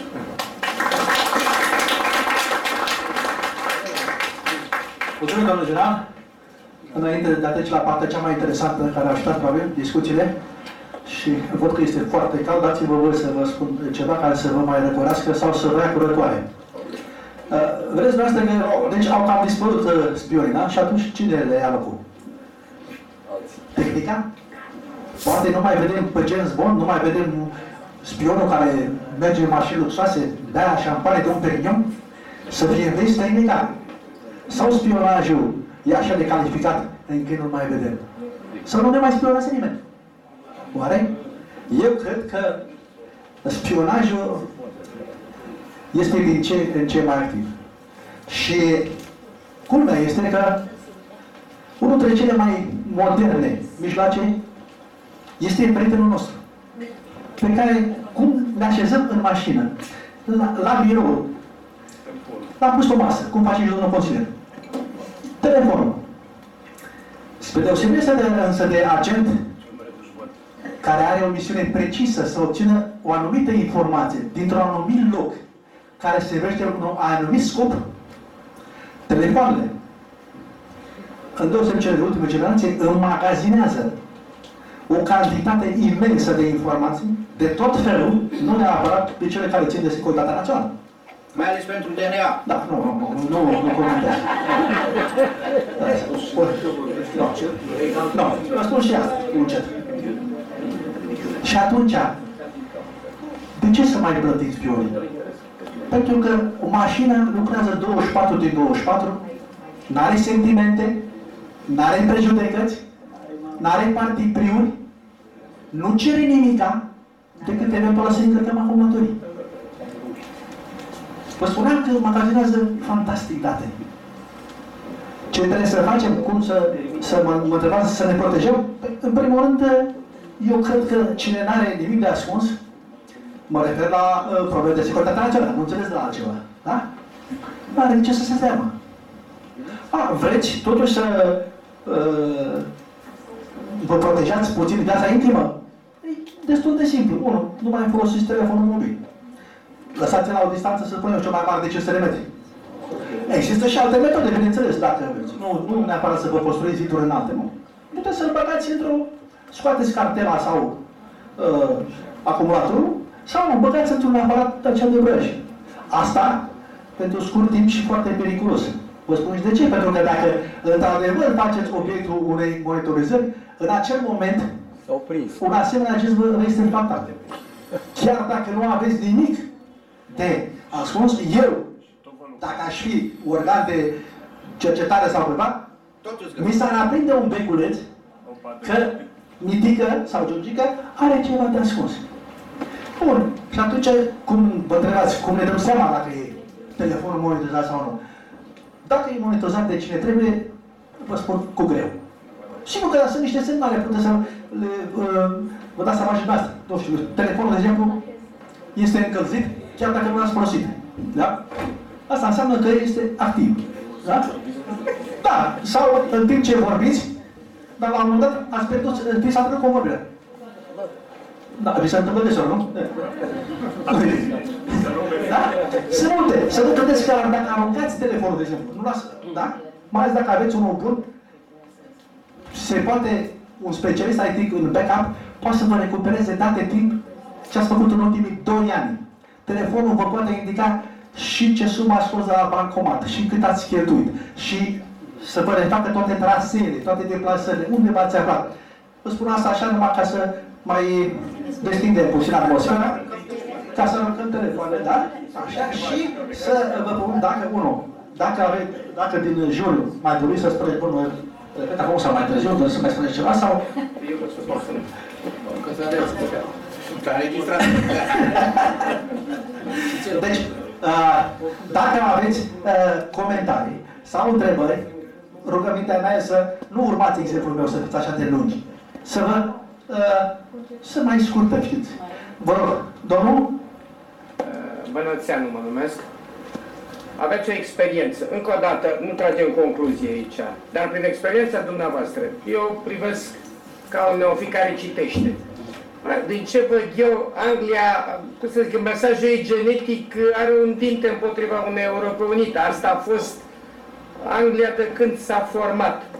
În opinia noastră, o Europa, așa din ce puteți noastră să deduceți, sigur nu tragem concluzii, o Europa fără Anglia n-ar fi mai capabilă de o anumită Uniune, pentru că, din ce văd în istorie, întotdeauna când a existat tendințe de unificare, de, mă uit în Balcani, comentariile pe care știți mai bine ca mine, de asta, vă mulțumesc frumos. Rog pe domnul președinte, aici, pentru că oricum, după mine, Europa oricum e fără Anglia, dar mă rog. Problema este bine pusă. Anglia, cum să spun, este Anglia, dar este Anglia apreciată în contextul așa numit anglosaxon. Adică Europa, la ora actuală, chiar în mijloc, în rândul vârfurilor europene, se discută, domnule, și probabil că nu se discută degeaba. Este o Europa a nordului Europei, deci înțelegând statele central-nordice, Germania, să zic, și Franța,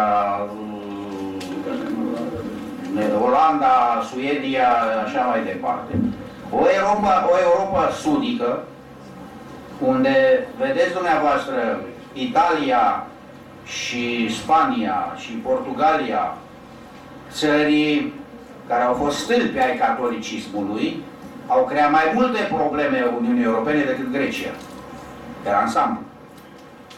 Și o Europa de asta, ăstora gen noi, de mâna a doua, a treia, care, mă rog, așteptăm să fim primiți și să, mă rog, să nu mai stăm crăcănați, cer cuvinte, scuze pentru acest cuvânt, cu un picior pe un deal și cu ăla altul în Berlin. Nu. Anglia, deci dacă se va pune problema Statelor Unite ale Europei, n-ai cum să excluzi pe nimeni. Inclusiv Albania, inclusiv Bosnia și de ce nu inclusiv Turcia, pentru că și Turcia este mai mult europeană decât asta. Și atunci îți acceptă astea achiul ăla comunitar bazat pe dreptul canonic romano-catolic? Nu. Să avem rezon, vorba lui Caragiale. La Anglia lucrurile sunt un pic mai, mai sensibile. Acum, poate nu ne aude nimeni, dar chiar dacă ne aude, se știe și se vede cu ochiul liber că Statele Unite cam sapă la rădăcina Uniunii Europene. Și Anglia este un pic pe linia lor. Ca atare, concluzia care se impune este cea, mă rog, din întrebarea mea, nu știu a câta, care va fi Uniunea Europeană, care va fi Europa viitoare? Că asta de acum, Nu. în niciun caz, cel puțin pe termen scurt, nu are șansă să rezolve toate problemele, uh, sau mă rog, cea mai mare parte a problemelor, țărilor lor, dar aminte a celor. Și atunci de ce? Dacă facem Statele Unite ale Europei, păi hai să facem Statele Unite ale Europei și să se mai pune și problema, că de-aia Anglia a, uh, nu a acceptat euro. Dom'le, și oarecum au dreptate. El spune așa, dom'le, economia mea, în general, de când sunt membru în Uniunea Europeană și dinainte, are un trend, dacă nu post crescător, cel puțin nu prea scăzut. Deci merge economia. Pe câtă vreme la voi euroiul s-a prăbușit undeva, gata, a venit dominoul. Și s-a prăbușit peste tot. Criza. Criza n-a afectat Anglia asta care a fost. N-a afectat-o așa de tare cum a, afectat, cum a afectat. Bine, n-a afectat-o nici pe Germania. că- Germania. Da, că Madame Merkel vrea austeritate pentru oricine, numai pentru ea nu. Ea vrea să taie pensiile grecilor, dar pensiile de nemților nu s-a schimbat o virgulă de pe vremea lui Bismarck la principiile de, de, de, de acordare a pensiilor. Așa că, mă rog, aici lucrurile sunt și până una alta, domnul, vă răspund, eu vă spune așa, nu se poate o, o, o adevărată Europa Unită. Și eu văd Europa Unită așa cum a zis-o uh, Charles de Gaulle, de la Atlantic la Ural. Asta este Europa. Dacă eliminăm o parte din ea, sau o bucățică din nord, sau o bucățică din sud, sau o bucățică din altă parte, nu mai este Europa Unită. Mulțumesc. Așa ne-a vorbit domnul președinte, mai multe întrebări adresează decât... uh, Da. Da, și vă dăm. Eu vă mulțumesc că ne-ați... uh, V-am pus întrebări. Că ne-ați pus întrebări. Nu, Vă rog frumos, cine? Vă rog, domnul consilier. În primul rând, Asta e greșetul pentru matale, că e de la domnul consilier. Adrian Bușu mă numesc, consilier județean, într-adevăr. Este o onoare pentru mine să fiu în fața dumneavoastră profesioniști ai spionajului românesc.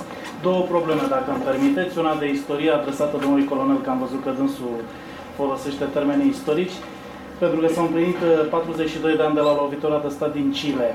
Atunci, în 73, peste 2000 de cetățeni chilieni au ajuns în România.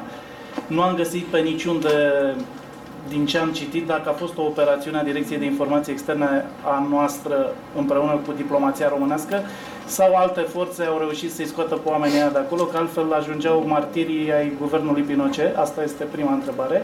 Și cea de-a doua, adresată tot dumneavoastră, domnule colonel, pentru că sunteți, văd, specialiști în problemele Orientului, considerați că există posibilitatea apariției unui nou stat care să înglobeze teritorii din Irak și Siria și care să fie un stat al curzilor, ca o contrapondere la alunecarea Turciei spre islamism? Da, da seama de la un domn consilier, nu poate să vină întrebări din asta, domnule, ce mai faceți, cum, cum, vă, cum vă simțiți aici la Râmnicu Vâlcea? Uh, să o luăm cu, cu prima. Chiar dacă știi că a fost o operațiune a unui anumit serviciu, nu va spune. Nu va spune din două rațiuni. Unu, că munca și regulile descrise sau scrise ale muncii m-au învățat să am un anumit comportament. Și doi, gândiți-vă că dacă orice afirmație a mea, fondată sau nefondată, da, ar putea crea niște dispute pe un plan care ne-ar depăși, nu în mică vocea, ci ar depăși, ar ajunge la un nivel la care nu și-ar dori nimeni în climatul de tensiune. Pot să vă spun, în schimb, ce v-am spus și înainte, despre jocurile SEE-uri acolo și despre rolul armatei, care pe un fond în acesta de democrație latinoamericană, care nici acum nu înțeleg, da? Cum, apropo de candidați, au ieșit trei candidați, din trei, unul avea 32, nu știu cât, cel de-al doilea uh, avea 31 și uh, al ei avea 36. Și ați aibă 37. Nu. Fără al doilea tur, urma de cel care a obținut cel mai mult președinte. Americanii au încercat să schimbe așa, să-l pună pe cel după locul 2, care a urmat să demisioneze. Nu. Cu refugiații cilieni, nu știu. Pot să vă spun altceva, că se aștepta o vizită la nivel înalt în Chile, da? Și că exact în apropierea, de câte și în apropierea uh, evenimentelor de acolo, da? Informațiile care au venit despre situația din zonă, așa, au dus la luarea vizitei de stat. Dar în orice caz, scuze, chiar dacă ar fi fost implicat un serviciu, el era implicat pe latura tehnică a acestor, aspectele tehnice ale acestui, pentru că decizia politică a contat. Că dacă nu era decizia politică, degeaba îmi venea mie pe chelie serviciului nu știu care să aduc eu pe refugiați, că nu puteam aduce, nu? Decizia politică a fost cea care a contat, dacă a contat, Și dacă au fost implicate, nu știu dacă au fost implicate, sau el nu poate să spună, dar nu cred, astea au fost pe linie tehnică, pe linie de protejare și pe linie de, nu știu, acte, de documente, de frontiere, de etc. etc. Mă dau seama dacă nici președintele nu știe, cum să știe ce. Da. Uh, Problema cu uh, statul islamic și legat de ea problema curdă, dar mai ales prima, uh, cred că e la ordinea, zi, ordinea zilei și toată lumea pe cine întreb, dacă, întreb care este pericolul acum pentru comunitatea internațională, internațională toată lumea spune ISIS. Numai că, uh, sigur că da, trebuie să căutăm puțin ca să vedem cum a apărut acest ISIS. Cum a apărut dintre toate organizațiile teroriste, singura care acum are revendicări teritoriale, care dispune de un teritoriu, nu discutăm cum l-a obținut legal, prin luptă, prin, luptă, prin uh, acțiuni teroriste, dar are un teritoriu, da? Singura organizație care a intrat în contradicție ideologică cu Al-Qaeda, pe care până acum toți o, o vedeam singura organizație reprezentativă a terorismului internațional, și să vedem care a fost, care au fost, eu sunt greșelile unor state vest europene care au dus la, sau care au favorizat, ca să nu uh, fiu prea dur, apariția unei asemenea structuri. Eu sunt convins că asta știți, eu le, vine, doar vi le rezum. Această primăvară arabă, concepută undeva în niște uh, laboratoare, da? a început cu statele uh, cum să nu, mai puțin dure și mai puțin consolidate, sau unde, dacă vreți, unde dictatura nu era nici așa de bine conturată și nici regimul nu ținea în mână asemenea structuri și asemenea, o asemenea putere. Rămăseseră două state, da? Egiptul, care era uh, una dintre cele mai stabile țări din Orient, și Siria, dacă comparăm ca putere militară. Amândouă cu puternice comunități creștine. Da, da. Asta este aspectul religios. Da, da, e vorba de religie. Cu Libia cu română. Speculând, deci au început cele mai mici, au lichidat, au urmat uh, Libianul, Gaddafi, Egipt. Aici a fost mai greu. Și a rămas Siria. Siria, numai că aici Și mai da, ar trebui să, să o luăm așa, să uh, avem mult timp de discutat, pentru că aici, în Siria, nu s-au mai lovit, nu s-a lovit numai de Siria. S-a lovit și de un Putin revenit în al, la putere în al treilea mandat, care a spus niet. Acum pericolul în Siria, de exemplu, care știți care este? Este ca avioanele uh, sovietice, avioanele ruse, da? Să se ciocnească cu avioanele coaliției internaționale. Care chipurile toate luptă pentru același scop. Nu cred că luptă pentru același scop. Vă spuneam de, m-ați întrebat de ISIS întâi, da?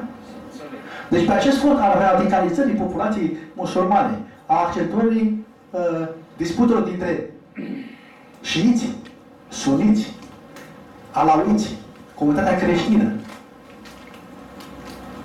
Un anumit plan pe care l-au folosit englezii într-o altă etapă a fost cel al așa numitului cuib de viespi. Azi, domnule, deci, îi adunăm pe toți într-un loc, da? Și în felul ăsta îi știm, îi putem controla. Numai că aici a fost acest cuib de viespi, până la urmă, care s-a dovedit a fi un roi, așa, le-a creat o posibilitate fantastică, unul dintre cei care a fost în acest uh, campus, campus, mă rog, o închisoare, așa, spunea ce, domnule, îi mulțumim guvernului american, statele americane, că ne-a dat posibilitatea să stăm, să fim toți la un loc, să punem la, să vorbim noi între noi, să punem la cale ceea ce vrem noi, pe mâncarea și cu securitatea americană. Uh, Acest fenomen totuși l-a scăpat de sub control. N-a fost intenția uh, să nu credeți că uh, cineva a vrut, domnule, creăm acest story. Nu, n-a, n-a fost intenția. Numai că au scăpat de sub control, așa cum au scăpat și pe Bin Laden, da? Care la început a fost agent sovietic și apoi agent american, apoi din nou independent. Da? Cu comunitatea curdă nu sunt uh, expert. Dar, uh, după părerea mea, aici Turcia joacă destul de, de riscant. Și vedeți, acum toată lumea, în criza aceasta a refugiaților, două țări nu vorbesc. Sau, cum să zic, vorbesc pe la colțuri. Și sunt două țări care ar trebui să vorbească. Arabia Saudită și Turcia. Arabia Saudită, știți de ce? Noi că știți, da? Ea își rezolvă problema, bă, noi dăm bani să facem nu știu câte moschei. Așa a făcut și în Kosovo. Turcia, la rândul ei, Bine, primul care are 800 și ceva, 150 de, de kilometri. Frontieră cu ceea ce acum da, se numește statul islamic, califatul. Da? Sau statul islamic din Siria și Levant, sau din Irak și Siria, fiecare dă diferite de nume de nume.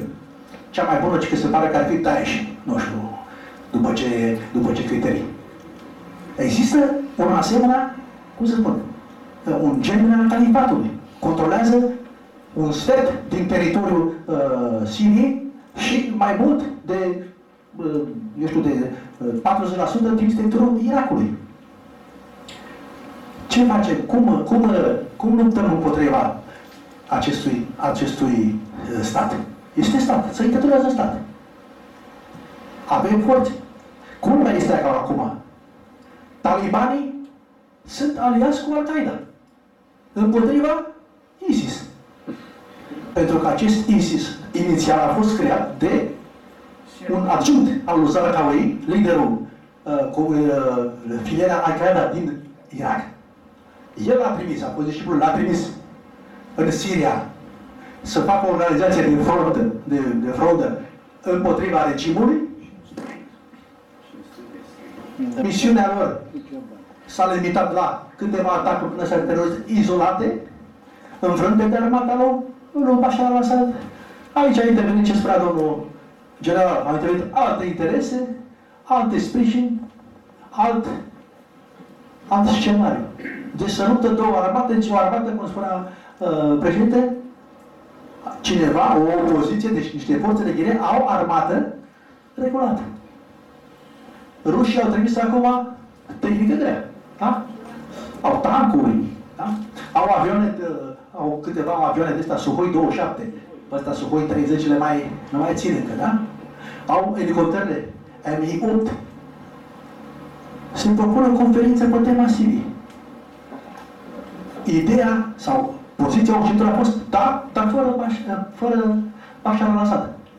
Se pare că acum, după ultimele lor de poziție lui Kerry și așteptăm acum întâlnirea dintre cei doi președinți, dacă se va realiza în marja uh, sesiunii 1, da, de la New York, că americanii nu mai țin neapărat la stabilizarea, la, plecare, la stabilizarea Siriei cu plecarea lui Assad. Dom'le, hai să vedem, stabilizăm și să organizăm alegeri.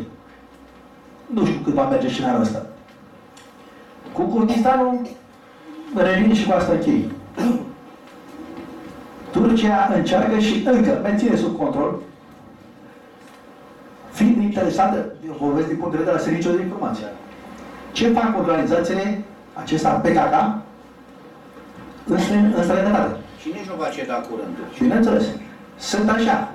În timp ce Rusia consideră PKK-ul o organizație de eliberare, deci nu teroristă, da? Occidentul o consideră, la cele la istețe turce și America, o organizație teroristă. La fel și cum sunt grupările cecene, da? pe care Occidentul le consideră de eliberare, cei mai mulți, și pe care rușii le consideră teroriste. Probabil că este și principiul acesta donan donan. Da? Dar cu Kurdistanul problema care este e problema fondurilor. Da? Și avem și noi, pentru că deși o comunitate destul de puternică în România, ținută, cred, sub control de cei care au menirea asta, care nu fac așa decât să le furnizeze fonduri. Or, și asta e important. Nu pot să vă spun, nu previzionez acum o, o acutizare în problema PKK-ului, da? pentru că eu cred că nici PKK-ul nu este interesat în destabilizare, cel puțin până la reglementarea situației de la, de la frontieră. Pentru că Turcia, oricât ai de uh, împotriva unui guvern, împotriva dușmanului tradițional care este Siria, s-ar putea să, să ajungă măcar la o o încetare a ostilităților. În rest, nu știu ce să vă spun. Dacă mai sunt, uh, vă rog, domnul? Arole Moga.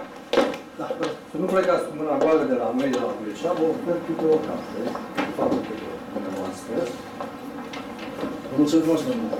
Mulțumim frumos. Pentru domnul general Boca am o întrebare. Eu uh, am întors de vreo 14 zile din Ucraina, chiar din Europa. Am vrut să trec pe un traseu pe care l-am făcut împreună cu prietenul și colegul și mentorul meu, Ioan Barbu, acum 22 de ani. Pentru că vorbeați de telefoane, că el, telefonul ne poate spune ce a făcut acum 2 ani. Eu vreau să vă spun că serviciile secrete rusești mi-au spus ce am făcut acum 22 de ani. Că am ajuns la Dubăsari, un convoi umanitar, acolo erau lupte, că nu aveam ce să căutăm și așa mai departe. În fine, uh, am avut uh, probabil șansa, norocul și voia lui Dumnezeu să trec prin Transnistria și să ajung la Odessa, iar de acolo la Donetsk. Domnilor, în momentul în care am intrat în uh, iubita noastră Moldovă, totul părea ok, liniște și pace. Când vă duceați acum la... Când m-am dus spre Odessa, spre Donetsk, părea. Am rămas cu prietenii la Chișinău, dimineața am plecat și am intrat în faimoasa micro-republică Transnistria. Vreau să vă spun, atunci când am ieșit din teritoriul Moldovei, imediat a venit și întrebare. Erau nu mai mult decât sunteți noastră la această masă și păzeau frontiera. Nu știu ce armament aveau, când era la vedere. Niște caschete din acelea cu diametru de o jumătate de metru și așa mai departe. Am intrat la vecinii noștri transnistreni, iar acolo, din pământ, se ițau către cer și către noi urelele tancurilor. Ne-am dus spre Dubăsari, unde am fost și arestat vreo 5 ceasuri. Am trecut de Dubăsari, am ajuns la Tiraspol și am mers la ucrainieni. Ucrainienii aveau în spate această republică înțesată cu oșteni din armata 14 despre care noastră știți foarte bine. În partea cealaltă erau alții, iar pe mare, cu grămare de vase, probabil că sunt și din cele care au fost vândute și da? păzeau uh, zona maritimă ucrainiană. Vă întreb, în condițiile în care Moldova este lipsită de apărare, ce facem noi? Cum ne apărăm noi? Pentru că, așa cum bine îl știți, unul și nu nu de joacă. De la Ivan cel Groaznic, la Petru cel Mare, care a spus că ne-a lăsat doar ochii ca să avem cu ce plânge. La Ecaterina a doua, la Lenin, Lenin a spus domnul general. La Stalin apoi, toți ne-au urât cumplit. Sigur, simbolul armatei române, Ioana Florescu, a fost până la urmă sacrificat pentru niște orgolii care au întrecut orice fel de imaginație. Eu am mers pe urmele acestui mare om de stat, am văzut și comandamentul care a fost aruncat în aer în Odessa, pe fapt, locul în care exista uh, comandamentul în cel de-al doilea război mondial și m-am întrebat, cine ne iubește astăzi? Pentru că, domnilor, la 64 de ani, eu, domnul Bedișor mă cunoaște și mulți în această sală, pot să spun că am iubit acest județ și mi-am lăsat toată tinerețea într-o întreprindere cu șapte mii de oameni. Undeva acolo sus, unde se luau decizii și unde în sectorul pe care am condus vreme de 17 ani, nu s-a întâmplat niciun accident. Totul este o ruină. Aveți o vorba. Așa cum, de fapt, și la Argeș, de unde am venit acum, pentru a asculta și pentru a mă împărtăși prin onoarea pe care ați oferit-o acestui minunat județ, simt o mare dezamăgire. Dezamăgire care, iată, se transformă într-o întrebare pentru domnul președinte. Domnule general, în 25 de ani ați avut sentimentul zădărnicii în acești 25 de ani. Da. Mulțumesc. Domnul președinte a răspuns. Dumneavoastră, de fapt, ați explicat ce ați vrut să explicați. Eu n-aș avea ce să vă răspund decât să vă confirm că Cine ne apără? Transnistria, cine ne apără, ne apără, că nu ne apără nimeni. Dar Transnistria este cea mai sovietizată regiune din fosta Uniune Sovietică. Sunt mai sovietici decât rușii de dincolo. Deci ei au rămas Acolo e stat în stat în Republica Moldova. Moldova s-a trezit cu această piatră de moară legată de picior. Nu a aparținut niciodată de Basarabia, dar e o creație stalinistă RSS moldovenească în 1940, au refăcut-o în 44 și a rămas așa ciuntită și de ucrainieni și uh, totuși ei sunt, acolo e un uh, grad de antiromânism și anti-europenism mai rar decât oriunde în uh, spațiul post-sovietic.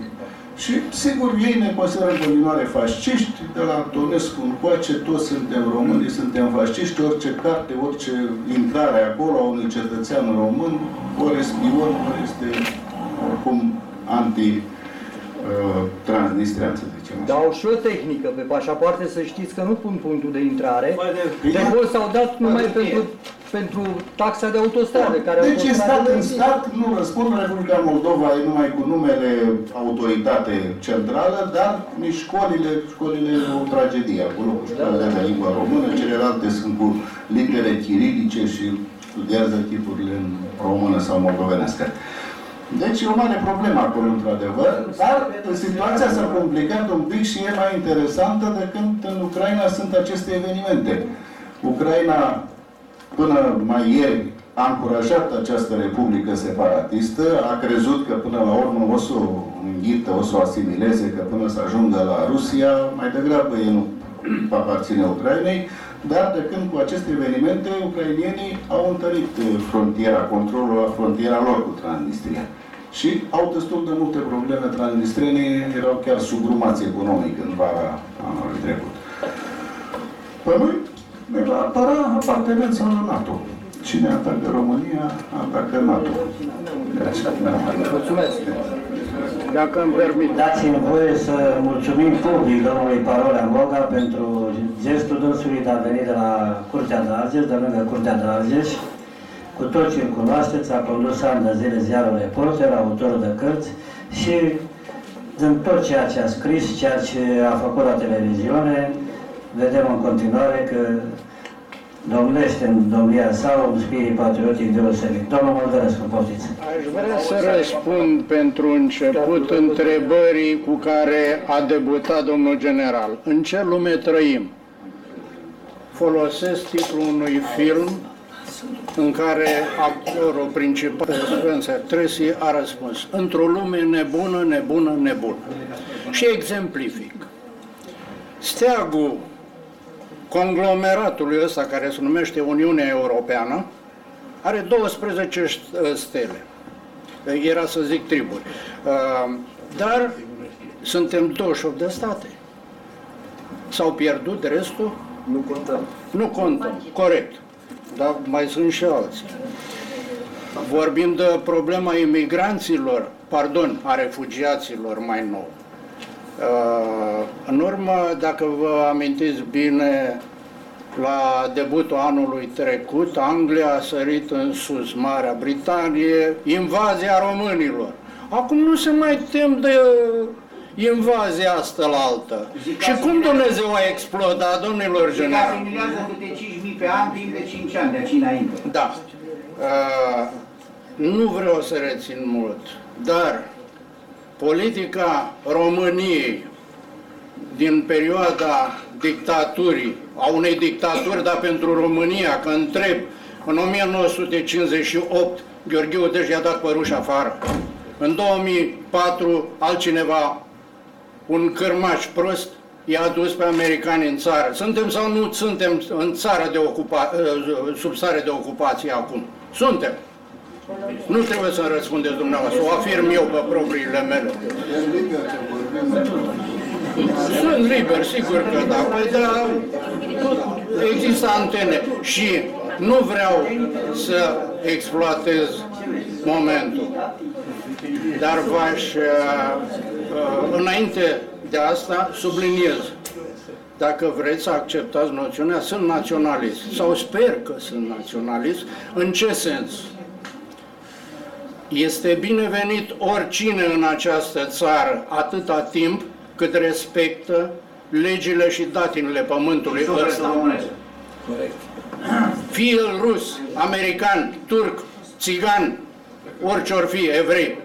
Cum tot așa, în ideea mea de naționalism și de românism, spun, condamn pe oricare nație, inclusiv pe român care nu se, uh, nu se supune acestor legi. Mi se pare cât se poate de echitabil. Și acum aș încheia cu o întrebare, este retorică, pentru că nu veți răspunde. Cât?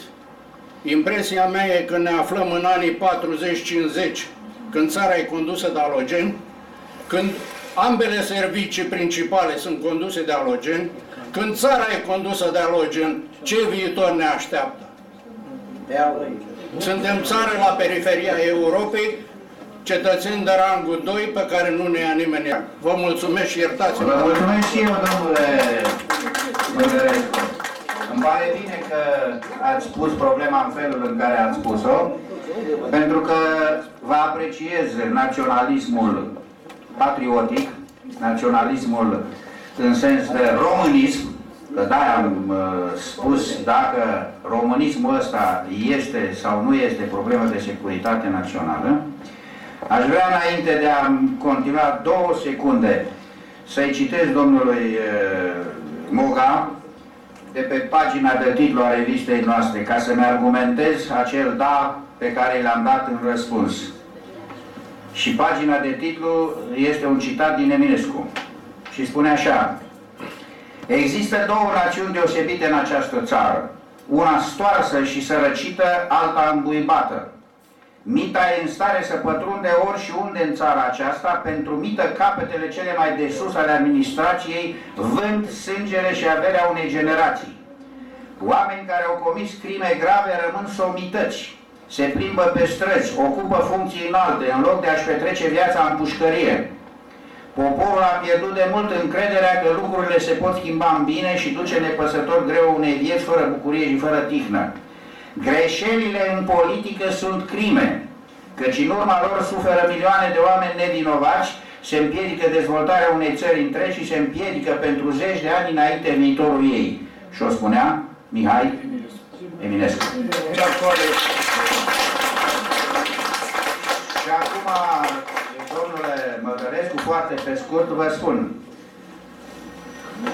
Noi înșine ne îndreptăm, poate buimăciți, și cerem să avem ceea ce au fost sovieticii la vremea respectivă, baze militare, nu? Că sovieticii au venit cu baze militare.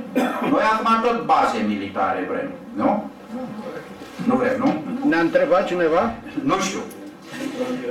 Pe de altă parte, spuneați că suntem, nu știu, așa, dar colonie nu fi noi oarecum? Ba da? Da. Nu știu, eu tot vă întreb, ca să nu... Să nu-și completez colonie sub ocupație. că vă instig la ceva. Ce să vă spun, asta este situația. Sigur că aici lucrurile uh, trebuie uh, factorul politic este cel care trebuie, dar factorul politic provine din rândurile noastre.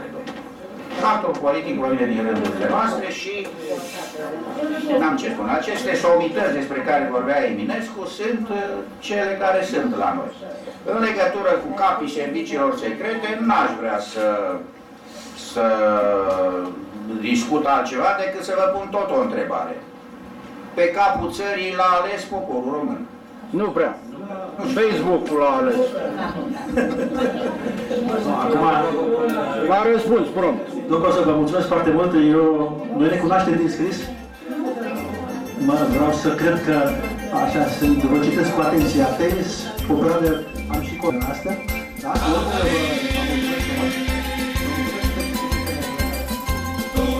Qualche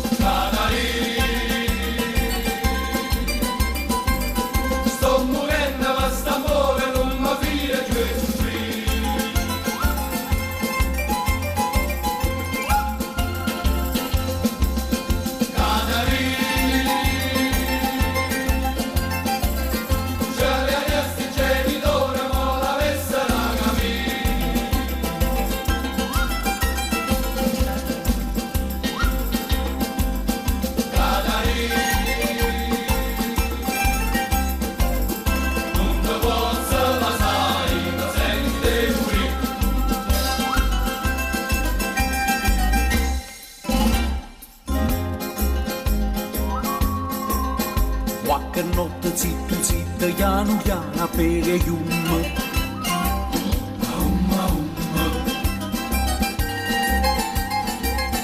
Saglia in coppa quattro, quattro, mazza canne, scevi in gumma Umma umma.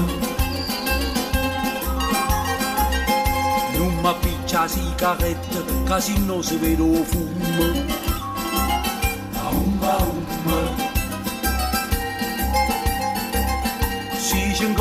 qualcuno che muoia può venire.